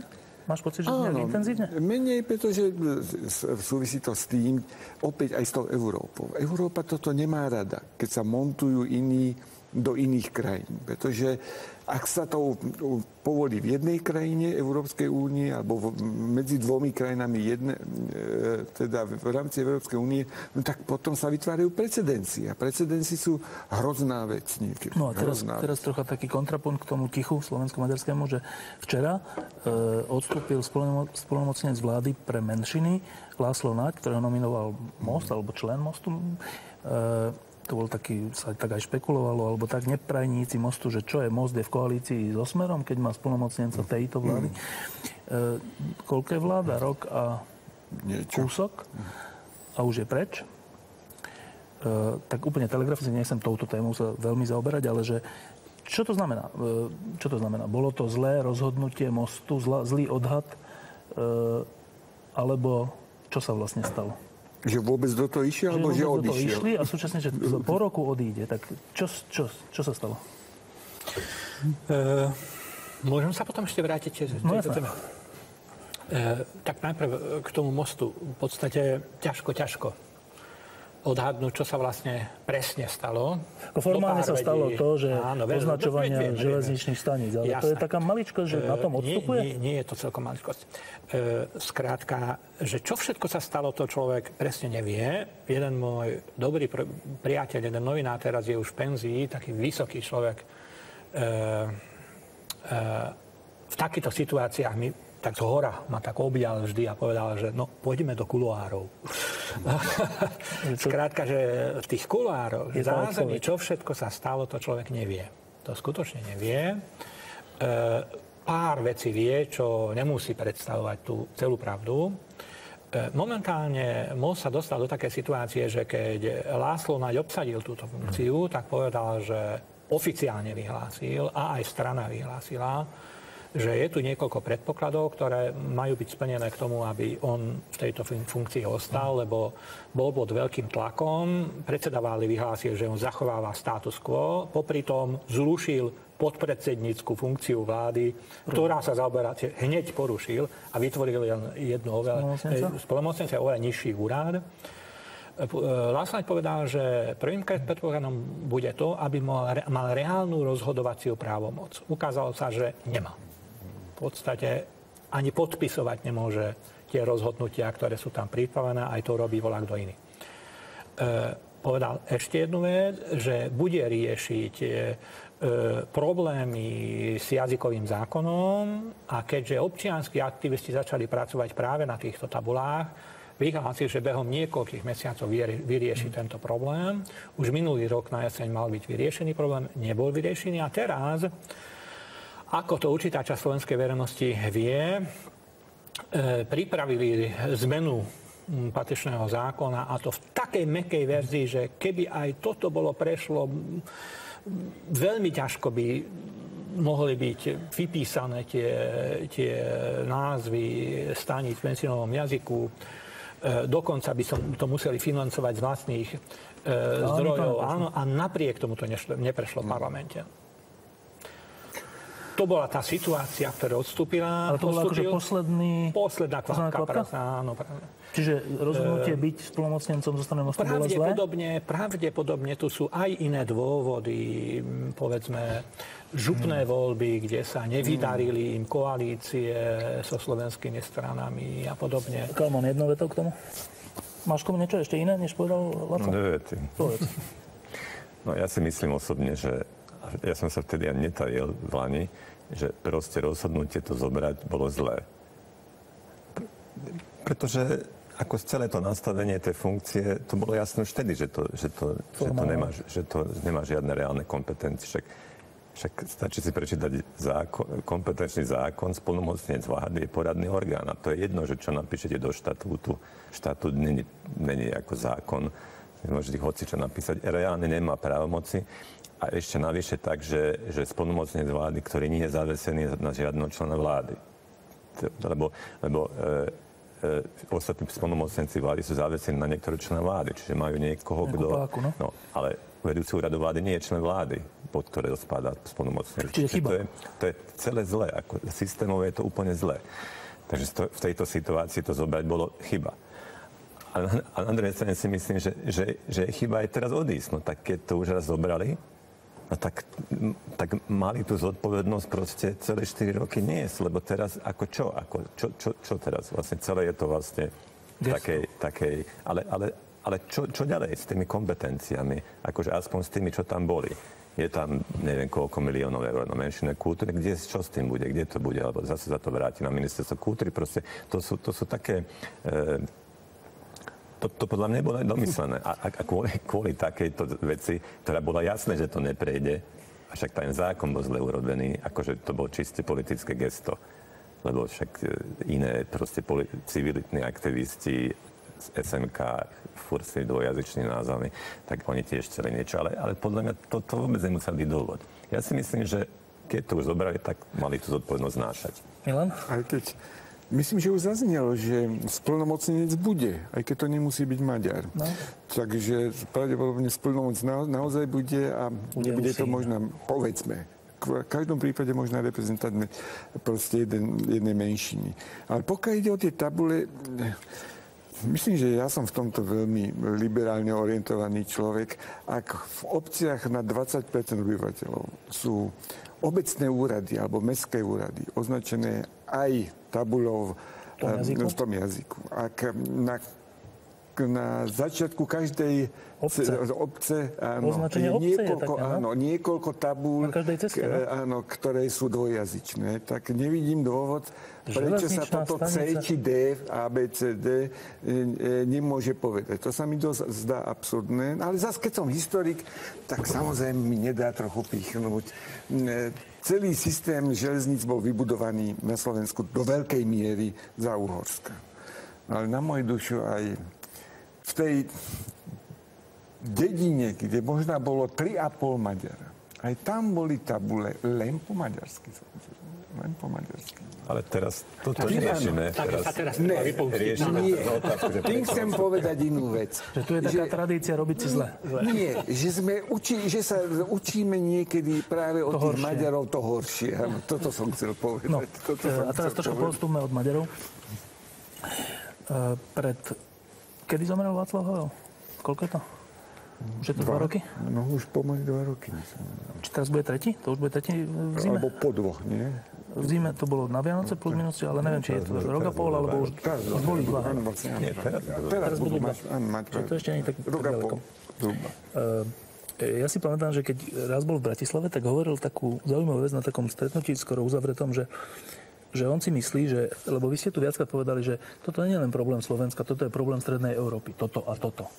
My tu máme takú mentalitu, my nie sme tu aktívni, my nie sme na to vychovaní. a Tak paradoxne on hovoril takú vec, že on si myslí, že, a to bolo asi pred 5 rokmi, alebo tak, že, že my ako Stredná Európa so skúsenosťou, ktorú sme, ktorú sme si tu zažili, vojnovú, komunistickú a takú, že s touto skúsenosťou, že to je cenná skúsenosť, ktorú, na ktorú by sme nemali zabudnúť, ktorú by sme teda v úvodzovkách mohli ponúknuť svetu. Ponúknuť svetu pri riešení všelijakých vecí, že takto nie a takto áno, lebo my máme tú skúsenosť tým. No, e, ja som tak troška o tom rozmýšľal, že či, čo, čo tým vlastne myslela tak. A zaujímavé, čo vy poviete, že e, on zomrel, trocha tu, troška to hovorí o sile jednotlivca, že stačí, keď zo pár ľudí zomrie a už to nemá kto hovoriť zaujímavé vety a zaujímavé tézy a zaujímavé spory, ale, ale teda o tom, že vy ste viackrát hovorili, že tá Stredná Európa je proste taká v tomto zmysle nerozvinutá, alebo tak. On práve hovoril opak. Že my máme takú skúsenosť, ktorú iní nemajú že oni si tam žijú v tom pokoji už dlhé roky a možno sú z toho aj rozmaznaní, možno nevedia hodnotu toho, v čom žijú. Je to v úplnom rozpore. Alebo nie je? E, Myslím si, že to je to pozitívne stredoeurópanstvo, ktoré, ktoré nevníma silu tých negatívnych tradícií. Presne, nevníma dostatočne. Tieto negatívne tradície, žiaľ, sú nesmierne silné. Jednoducho sú silné a bez ich jasnej e, kritiky, ktorá sa neustále opakuje, sa objavia v nových a nových vydaniach. Aby som sa krátko vrátil, neviem koľkokrát som počul, čo sa týka slovensko-maďarských vzťahov, alebo aj čo sa týka vzťahov iných menšín, často v Strednej Európe, ten príklad, ktorý som počul pred chvíľou, ten nemecko-francúzsky, že Nemci nechali tým Francúzom tých Nemcov v Alsasko-Lotrinsku, tých už totálne pofrancúštili a je kľud. Ani náhodou sa nespomína vzťah nemecko-belgický, fínsko-švédsky, rakúsko-taliansky, kde toto sa nestalo. Práve naopak. E, tam tie menšiny disponujú s všetkými možnými právami a napriek tomu vzťahy týchto štátov sú nesmierne blízke a sú vlastne blízki spojenci a v tom aj títo, tieto menšiny zohrávajú kľúčovú rolu v podstate. Že jednoducho sú tu naďalej živené rôzne agresivity, aby tu inakosť, ktorá tu existuje v rôznych podobách, povedzme aj nacionálnych, odrovnali a vytvárajú sa všelijaké aliancie. Ešte stále sa uvažuje v geopolitických rovnováhach, dokonca aj v tomto malom regióne, kto komu, ako pomôže, spojenec, nepriateľ a podobne. že sila týchto negatívnych tradícií je tu nesmierná, myslím si. E, a sila tých pozitívnych je menej silná, žiaľ. E, myslím si, že jednoducho bolo by treba sa pozrieť na tieto negatívne. Jasne ich pomenovať a v rámci verejnej diskusie a rozhodnúť sa, že keď chceme dobehnúť ten vyspelý, vyspelý svet, tak poďme na, na miesto nich vymyslieť a rozšíriť iné doktríny. A inde to robili tak. Iné doktrín spolupráce, vzájomnej pomoci, napredovania. Dá sa to aj špecificky v tomto regióne, myslím si. No, ale ja som myslel toto, že, že ten Havel hovoril skôr o tom, že máme skúsenosť s neslobodou a máme skúsenosť s tým, že aj v tej neslobode sa dá vzdorovať a ten, kto vzdoruje, tak je možné, že nakoniec vyhrá, hoci sa to zdá úplne nepravdepodobné. To je dobrá skúsenosť. To, to, je, to je skúsenosť proti tomu, čo, o čom tu dneska hovoríme, že nič sa nedá. Čo, čo? Nič sa nedá. Však aj za komunizmu sme si mohli povedať, nič sa nedá. Ja len sa pýtam, že či, či tento jeho, toto jeho, to jeho želanie, že aby sme si z toho zobrali toto, že či, či to aspoň čiastočne sa deje. Ale tá skúsenosť, čo ty hovoríš, to je zase trošku absolutizácia. To je skúsenosť niekoľkých, sto niekoľko tisíc ľudí, no? proste, ktorí to extrapolujú na celú spoločnosť, ale v skutočnosti to tak naozaj nebolo. Akože. Väčšina ľudí v tom socializme aj predtým, že akékoľvek režimu autoritatívne sa prispôsobí. Človek si zvykne na všetko proste. Človek není akože a priori nastavený na to, že neustále rebeluje, alebo neustále robí revolúcie, alebo vzdoruje. Proste taká skúsenosť vôbec podľa mňa nie je, čo ty hovoríš. Skúsenosť je taká, že väčšina ľudí sa prispôsobila hoci čomu.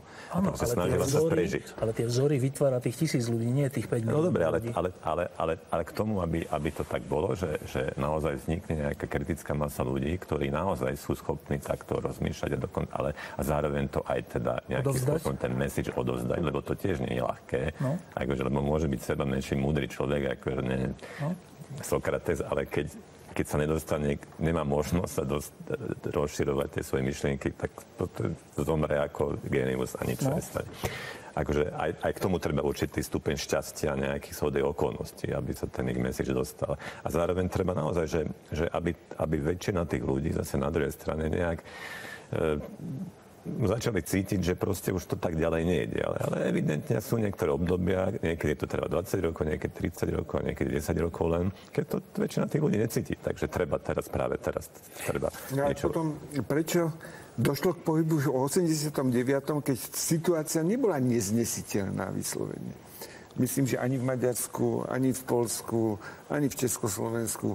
Ak tak bola možná neznesiteľná psychologicko-morálne, alebo ale aby mohla byť neznesiteľná psychologicko morálne, tak muselo tam čosi pracovať, pretože inakší by tí ľudia boli naozaj tí otroci, ktorí vôbec nehybu e, svojim rozumom, svojimi citmi a ktorým je to všetko jedno.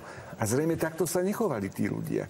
Minimálne tých niekoľko týždňov až mesiacov. No, ale... Tak ale, ale človek, akože furt vychádzame z toho, že každý človek celý deň žije s vysokou politikou. Akože aj tí ľudia, aj v tých ostatných režimoch proste jednoducho proste každý si nájde nejaký svoj zmysel života, konec koncov nejaké svoje šťastie, buď v tom, že išiel na záhradku, do chalupy, neviem čo robil, proste nejakú takú záujmovú činnosť, ktorá bola povolená proste. Väčšina ľudí si už niečo našla proste, ako nežila s tým, že no akože kedy zvrhneme konečne ten režim. To skutočne tak nefungovalo.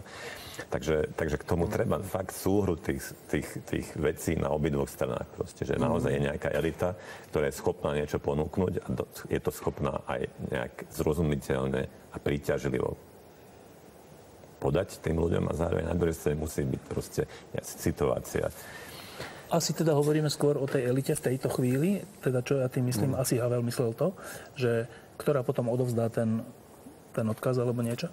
A teda to je, to je tá otázka, že e,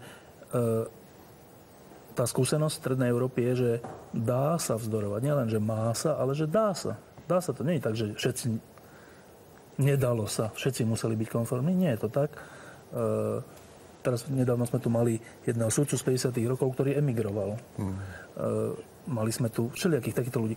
Um, dalo sa. A teraz, či tá elita naša, milá, uh, čerpá z tohoto, alebo je skôr tá konformná, paradoxne, ako tá väčšina pred rokom 89? Čo myslíte dnes? No, poriadok to súčasný je konsolidovaný. Tretí to elity? Áno, vrátanie elity, myslím si. Momentálne jeden, jedna stabilná situácia, ktorá má svoje výhody a nevýhody. My tu hlavne hovoríme o tých nevýhodách, pochopiteľne. A viditeľne nikto to nedokáže preraziť. Ehm, A veľká časť pravdepodobne nechce. Nie sú ani celkom vypracované koncepcie na to, že ako. Teda vrátanie elity? Vrátanie elity. Keď sa urazia. Vrátanie veľkej časti elity. Samozrejme, nikdy nie celej. Tak kritici vždy sú, pochopiteľne. Viem si predstaviť, že sú elity, ktoré chcú práve konsolidáciu a tú konsolidáciu si cenia na prvom mieste a myslím, že aj v terajších vládnúcich kruhoch je to tiež do veľkej miery tak.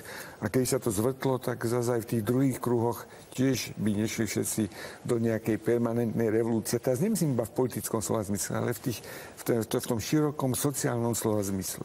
Proste s- snažili by sa etablovať a riadiť každodennosť ďalej. Ja si myslím, že v súčasnosti naozaj nie sú také politické určite nie, ktoré by v tých kľúčových témach, ktorých to hovoríme, by mohli priniesť niečo nové. Proste charakter štátu, charakter demokracie.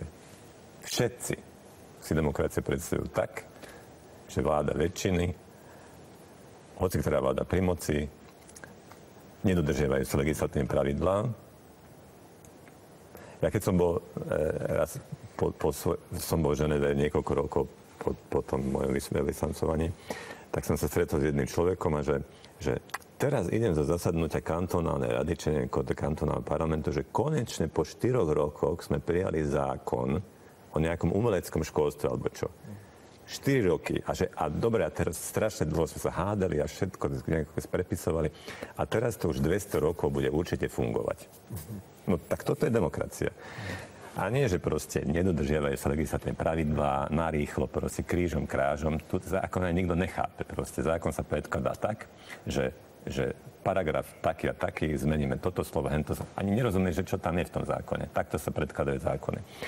Ne, nedodržiavajú sa pravidlá pripomienkovania, pomaly klasické 15-dňové pripomienkovanie aj neexistuje, všetko je 5 alebo 10 dní alebo žiadne. Ale to robia všetci.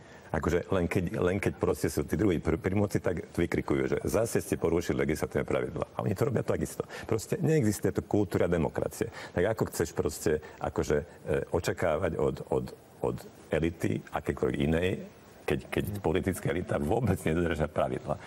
Tak potom nikto nedodržiava pravidla, samozrejme. A teraz Takže- to všeobecní, že a z- z toho vyplýva čo? O čom to svedčí, alebo čo to hovorí? Dobre, nedodržiavame pravidlá, dobre? A čo? Čo z toho vyplýva pre našu situáciu? No, z- vzniká určitý spoločenský močiar, tak trošku, v ktorom sa dá existovať, v ktorom sa dá pohybovať, ale stále na tej úrovni, to, úrovni toho močiara, prípadne hore-dolu. Týmto končí a mm, čaká sa. Naozaj, však začali sme čakaním. Čaká sa na situáciu, ktorá podľa mňa vygeneruje ľudí, ktorých možno ani netušíme, že sú. Ktorí sa o niečo pokúsia. Pričom to nemusí dobre skončiť. Možno to čakanie sa predlží na celé ďalšie roky a ja neviem dokedy. Ťažko byť v, tom, v takýchto veciach pre, e, e, teda predpovedať niečo. Druhá vec je, že tu je ten väčší rámec európsky a tam to tiež buble. A čo sa stane, keď to tam praskne? Čo sa stane so spoločnosťou, ktorá je vnútorne dosť podľa mňa labilná, nevyzretá a ktorá proste sa do veľkej miery orientuje podľa pokynov alebo svetielok prichádzajúcich zvon. To, to, to, to je naozaj veľká otázka. Dúfam, že to nepríde, ale nedá sa nič vylúčiť. E, Ty pôsobíš v tej takej spoločenskej sfére, respektíve spoločensko-vednej sfére, alebo tak, e, akadémia vied a tak ďalej. E, táto nejaká konformnosť tou situáciou je aj v tejto sfére? Je tam určitý zápas. Je tam určitý zápas aj vo vnútri, kde sú ľudia, ktorí majú isté predstavy, ako by sa to malo zdynamizovať, ako by sa to malo zmeniť. A sú ľudia, ktorí hovoria, to nebude dobre, to je nebezpečné, to, to nemusí dobre skončiť. Nechajme tak. Áno, nechajme tak, ako je. Áno, toto sa prejavuje. A to víťazí? Ale- To druhé víťazí, hej? E, nie, myslím, že nedá sa povedať, že by vyťazil. Myslím, že je to, je to zápas. Keď už e, vyťazí, tak to už je skoro po zápase. A najhoršie je podľa mňa to, čo si ináč ty veľmi dobre povedala, keď si prebral tú cenu za slovensko-maďarské zmierenie. Teraz ja si to napísal, alebo no? si to povedal niekde, že, že na Slovensku naozaj panuje strach. Ale ten strach v tom zmysle panuje, že, že, že nemyslím taký existenciálny strach, ale že, že tí, ktorí by teoreticky aj mohli prinášať tie nové témy alebo tabu, tabu, tabuizované témy, ktoré by mohli odkliať niektoré tie oblasti, o ktorých by sa naozaj malo začať hovoriť alebo riešiť, tak sa boja s tými témami prinášať, alebo, alebo boja sa vyjadriť svoj skutočný e, názor, aj keď ho treba zmajú, aj keď ho majú naozaj treba dobrý alebo progresívny, lebo sa boja, že proste, neviem, nedostanú nejakú štátnu zákazku, nemusia prísť rovno za zamestnanie. Dostanú sa do nemilosti, nedostanú zákazku, nedostanú grant. Teraz proste e, však finančné zabezpečenie veľkých oblastí spoločnosti a vrátanie teda elity, tých, ktorí teda sú elity, sú závislí strašne od štátu. Všelijaké grantové systémy, ktoré sú zdánlivo nezávislé, v podstate nie sú úplne nezávislé. E, čiže nie je úplne jedno, E, čo ty vyskúmaš, čo ty povieš, čo napíšeš. A to je dosť zlé, lebo, lebo práve takýmto spôsobom sa tá tvorivosť, alebo teda to, že to, čo elita by mala robiť... Zdravý spor? Že to, čo no. elita by mala robiť, že prinášať tie témy... Sa utlmi. E, sa utlmuje a to je, je problém, že potom kto má prinášať elitu? No tak ten človek, ktorý e, robí prístroje alebo čo, no, tak ten nemá čas ani energiu prinášať nové idei akože do, to, do tej sféry, o ktorej my hovoríme. Čiže... Plus ešte, tu je ten problém, že nie iba strach, ale aj rezignácia, pretože občas aj niečo zaznie a zapadne to. A proste človek má pocit, že je zbytočné sa namáhať.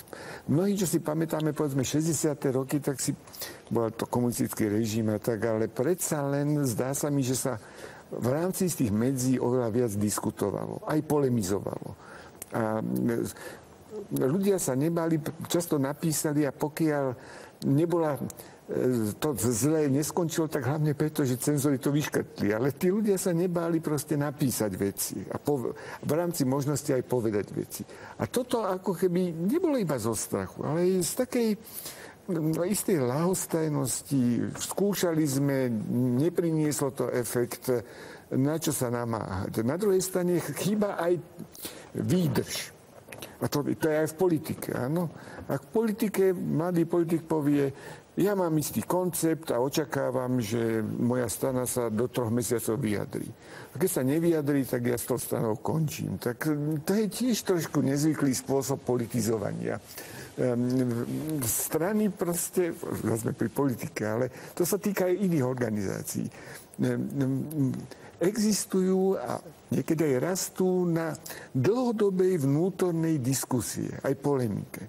A kto to proste účastníci týchto polemík nevydržia, ale hneď proste si zakladajú svoje osobitné inštitúcie, organizácie a podobne, tak sa to naozaj rozpadáva a rozpadáva. Potom k tým organizáciám a inštitúciám sa zase pridružujú často úplne náhodní ľudia, ktorí majú svoje záujmy a proste skúšajú, že ako sa uchytiť a podobne. A to tiež nie je to najlepšie e, orechové. No, no poviem konkrétny príklad, že a nechcem sa dotknúť žiadneho stavu, ale napríklad stav právnikov.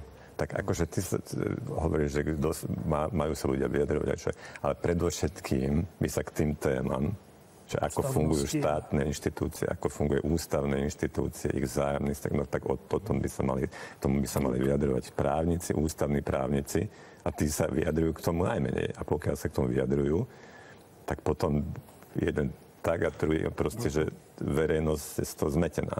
Tak kto to má vedieť proste, akože to... No a to je zaujímavé, čo, to, to, čo Kalman povedal, bolo také, neviem, neviem to ani nazvať, že elita je tu vlastne, keďže je závislá na štáte, finančne a všelijako inak, tak nie je slobodná k slobodnej diskusii. Cítiš to? Cítim, ale mohla by byť, keby práve tie najkvalitnejšie výkony práve v rámci podobných diskusí boli ocenené verejnosťou. Čiže nemalá časť verejnosti by sa za toho konkrétneho intelektuála, odborníka, herca, novinára Postavila? postavila. Presne Keby tak. mu niečo hrozilo. Alebo Keby tak. mu niečo hrozilo, áno, áno. Hneď by to bolo ináč, aj zo strany štátu. No ale tá pasivita, pochopiteľne, aj ich obmedzuje. E, to tiež súvisí s tými začiatkami. Skrátka, mm, aká slabá bola, povedzme, e, tu tá opozícia počas komunizmu, čo súvisí aj charakterom komunizmu práve v tomto štáte. E, počas e, zmeny režimu, počas revolúcie si pamätám, že aké veľké problémy boli s tým, že keď odvolá sa nejaký už nižší funkcionár nejakej pozície, tak nájsť vôbec volá koho, aby, aby bol nahradený, ktorý má aspoň nejaké predstavy, nejaké alternatívne mm, názory o tom, že v tom danom, danej oblasti, čo, čo by bolo treba robiť. Skrátka, kritickosť je najcennejšia forma politickej či spoločenskej komunikácie, spoločenský dialog, spoločenského dialogu. To je to najcennejšie v podstate, čo my ľudia vôbec môžeme produkovať, veď tým sa veci menia. E, to by bolo treba jednoznačne začať podporovať a oceňovať minimálne zo strany čím väčšej verejnosti, postaviť sa za toho druhého. No, e, mám vlastne poslednú jednu alebo dve otázky a potom si dáme poslednú pesničku. E, začali sme tou nehybnosťou za komunizmu, o ktorej hovoril starý pán Šimečka. E, a teraz sme hovorili trocha o tej dnešnej. E, tak, patrí sa svetlo na konci tunela. E, na prvý pohľad sa zdá, že je to nezmeniteľné, minimálne krátkodobo alebo strednodobo. Nie je alternatíva, nie je nezávislá elita, nie je tradícia, štát, ústava tak nevznikli tak, aby to vytvorilo podmienky. Že všetko, čo ste vlastne hovorili, hovorí o tom, že to bude dlho, dlho, dlho trvať. Um, ale niečo pozitívne. Tak Dunaj sa nevylial, máme jednu pozitívnu vec a teraz skúste vy druhú. Že, um, môže to niečo urýchliť? Milan. Bezprostredne. Krátkodobo, strednodobo. Ja myslím, že isté veci sa môžu dať kľudne do pohybu do konca tohto volebného obdobia, keby sme Až to tak? takto... poli- Áno, za istých okolností áno. Um, bude to súvisieť možno aj s týmto medzinárodným kontextom. Môže, môže to prísť a môže to byť aj tie veci, o ktorých sme sa bavili, hoci to vyhlásenie pána prezidenta, ktoré by sa povedzme v čase, keby ústavný súd zaujal isté stanovisko, By to nerešpektoval? Nerešpektoval, áno. Tak môže to vyvolať pohyb, ktorý, z ktorého budeme prekvapení. Len samozrejme žiadna záruka nie, lebo keď sa hovorí o svetle na konci tunela, na konci tuneli niekedy svieti sviečka, vieš prečo, lebo tunel nemá východisko, takže aj to sa môže niekedy stať. Áno, ale nemyslel som to tak, že, že v porovnaní s touto vládou alebo s nejakou vládou, ale myslel som to tak, že ako tá krajina, ako to sebavedomie, ako to, to niečo, niečo... Môže sa to začať, ale to je naozaj beh na dlhé trate. A toto mňa niekedy znepokojuje u nás Slovákov, že my sme skôr bezci na krátke trate. Také schopenie sa? Áno, to chvíľu trvá. a A keď sa ešte dobehne niekde, kde to proste má nejaký zmysel, tak to je dobre. Ale niekedy sa nedobehne a potom trvá dlhý čas taká rezignácia, čakanie opäť na beh na krátkej trate. Kalman. Ja nepoviem nejaké svetla na konci tunela. Akože ja po- poprvé si myslím, že e, je už naozaj nadkritické množstvo šikovných, schopných mladých ľudí, ktorí buď študovali na západe, alebo vonku, alebo, alebo zatiaľ tam sú, ale oni sa vrátia. A ja považujem za, za veľmi e, dobré, že a títo, títo mlad- mladí ľudia sa začínajú nejakým spôsobom združovať proste, začínajú vytvárať nejaké siete, čo je veľmi dobré. Ale, ale ja by som to nestával zase, že, že kedy sa zmení stranická politika od toho, akože ja rozmýšľam, že ako, ako oni zmenia celú spoločnosť. Pretože politika sa zmení, keď sa... ako myslím stranická politika. E, druhá vec, čo, čo, čo chcem povedať ako, ako svetlo, že napriek tomu, čo sme mi tu povedali, napriek tomu treba jasne vidieť, že toto je zatiaľ najlepší svet, v ktorom žijeme. Akože nikdy v histórii ľudia na tomto území nežili lepšie. Keď to zoberiem globále.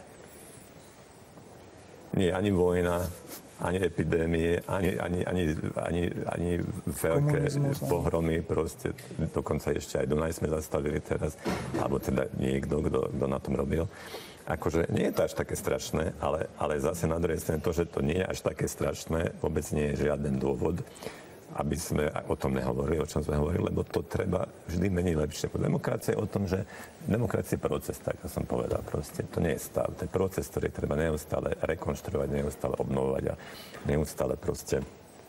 Jediná vec, čo si myslím, že, že na tom treba radikálne zmeniť, lebo to, e, to, je, to, je, to hrozí do 10-15 rokov akože e, škandálom a, a proste nejakým naozaj zlým vývolom, je, je, je školstvo proste ja si myslím, že s tým by sa malo niečo robiť, ale zásadné. Laco. Uh, myslím si, že ten súčasný stav, dokedy, kým bude konkurencia schopný, sa udrží. Uh, ale nebude to veľmi dlho, myslím si. Um, ako dlho to nedokážem posúdiť, lebo veštiť človek samozrejme nevie.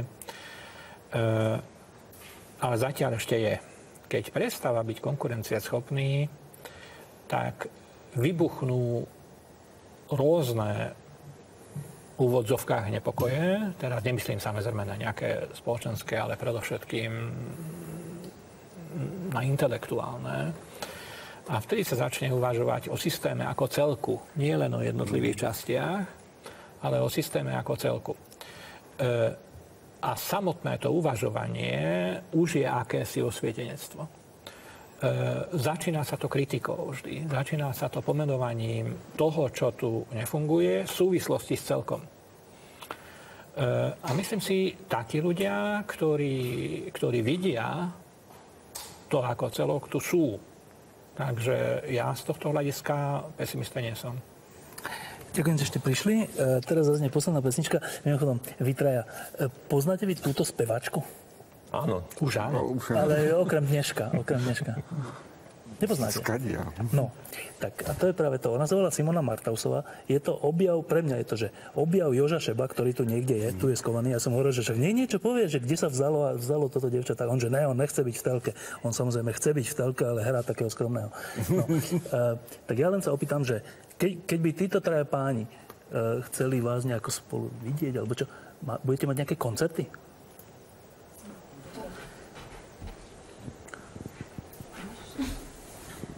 Tak ja si myslím a dúfam, že budeme mať koncerty.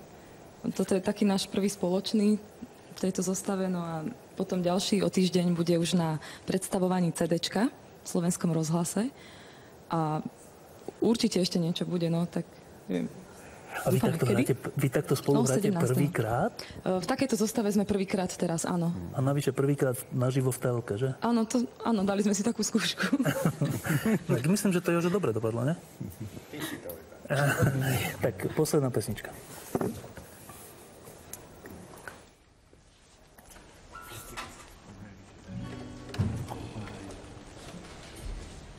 Chce sa mi plakať a smiať ešte chcem pred vami stáť. S pravdou von budem vám hrať, už iba chvíľa stačí mi a budem dobre sa mať. Ak by aj búrka bola, budem sa na gondolách rozprávať o tom, že mne ku šťastiu chýba už iba učiť sa povedať nie. Bude mi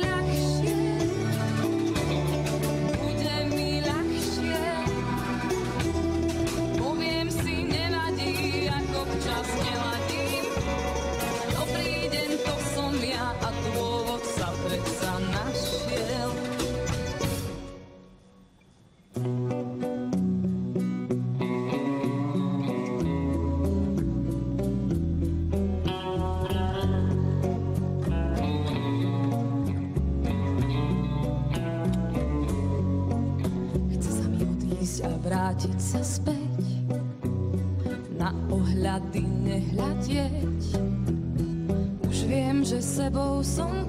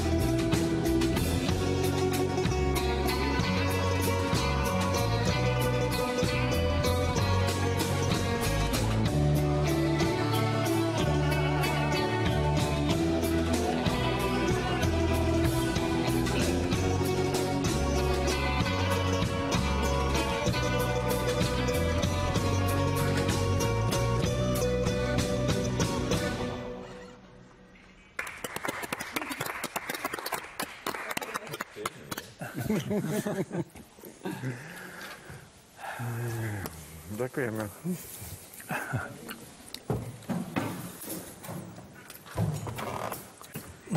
No. Jemno teraz bude jemno, potom.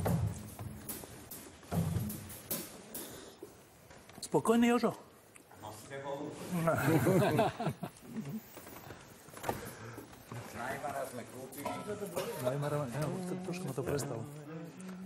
对吧？呀、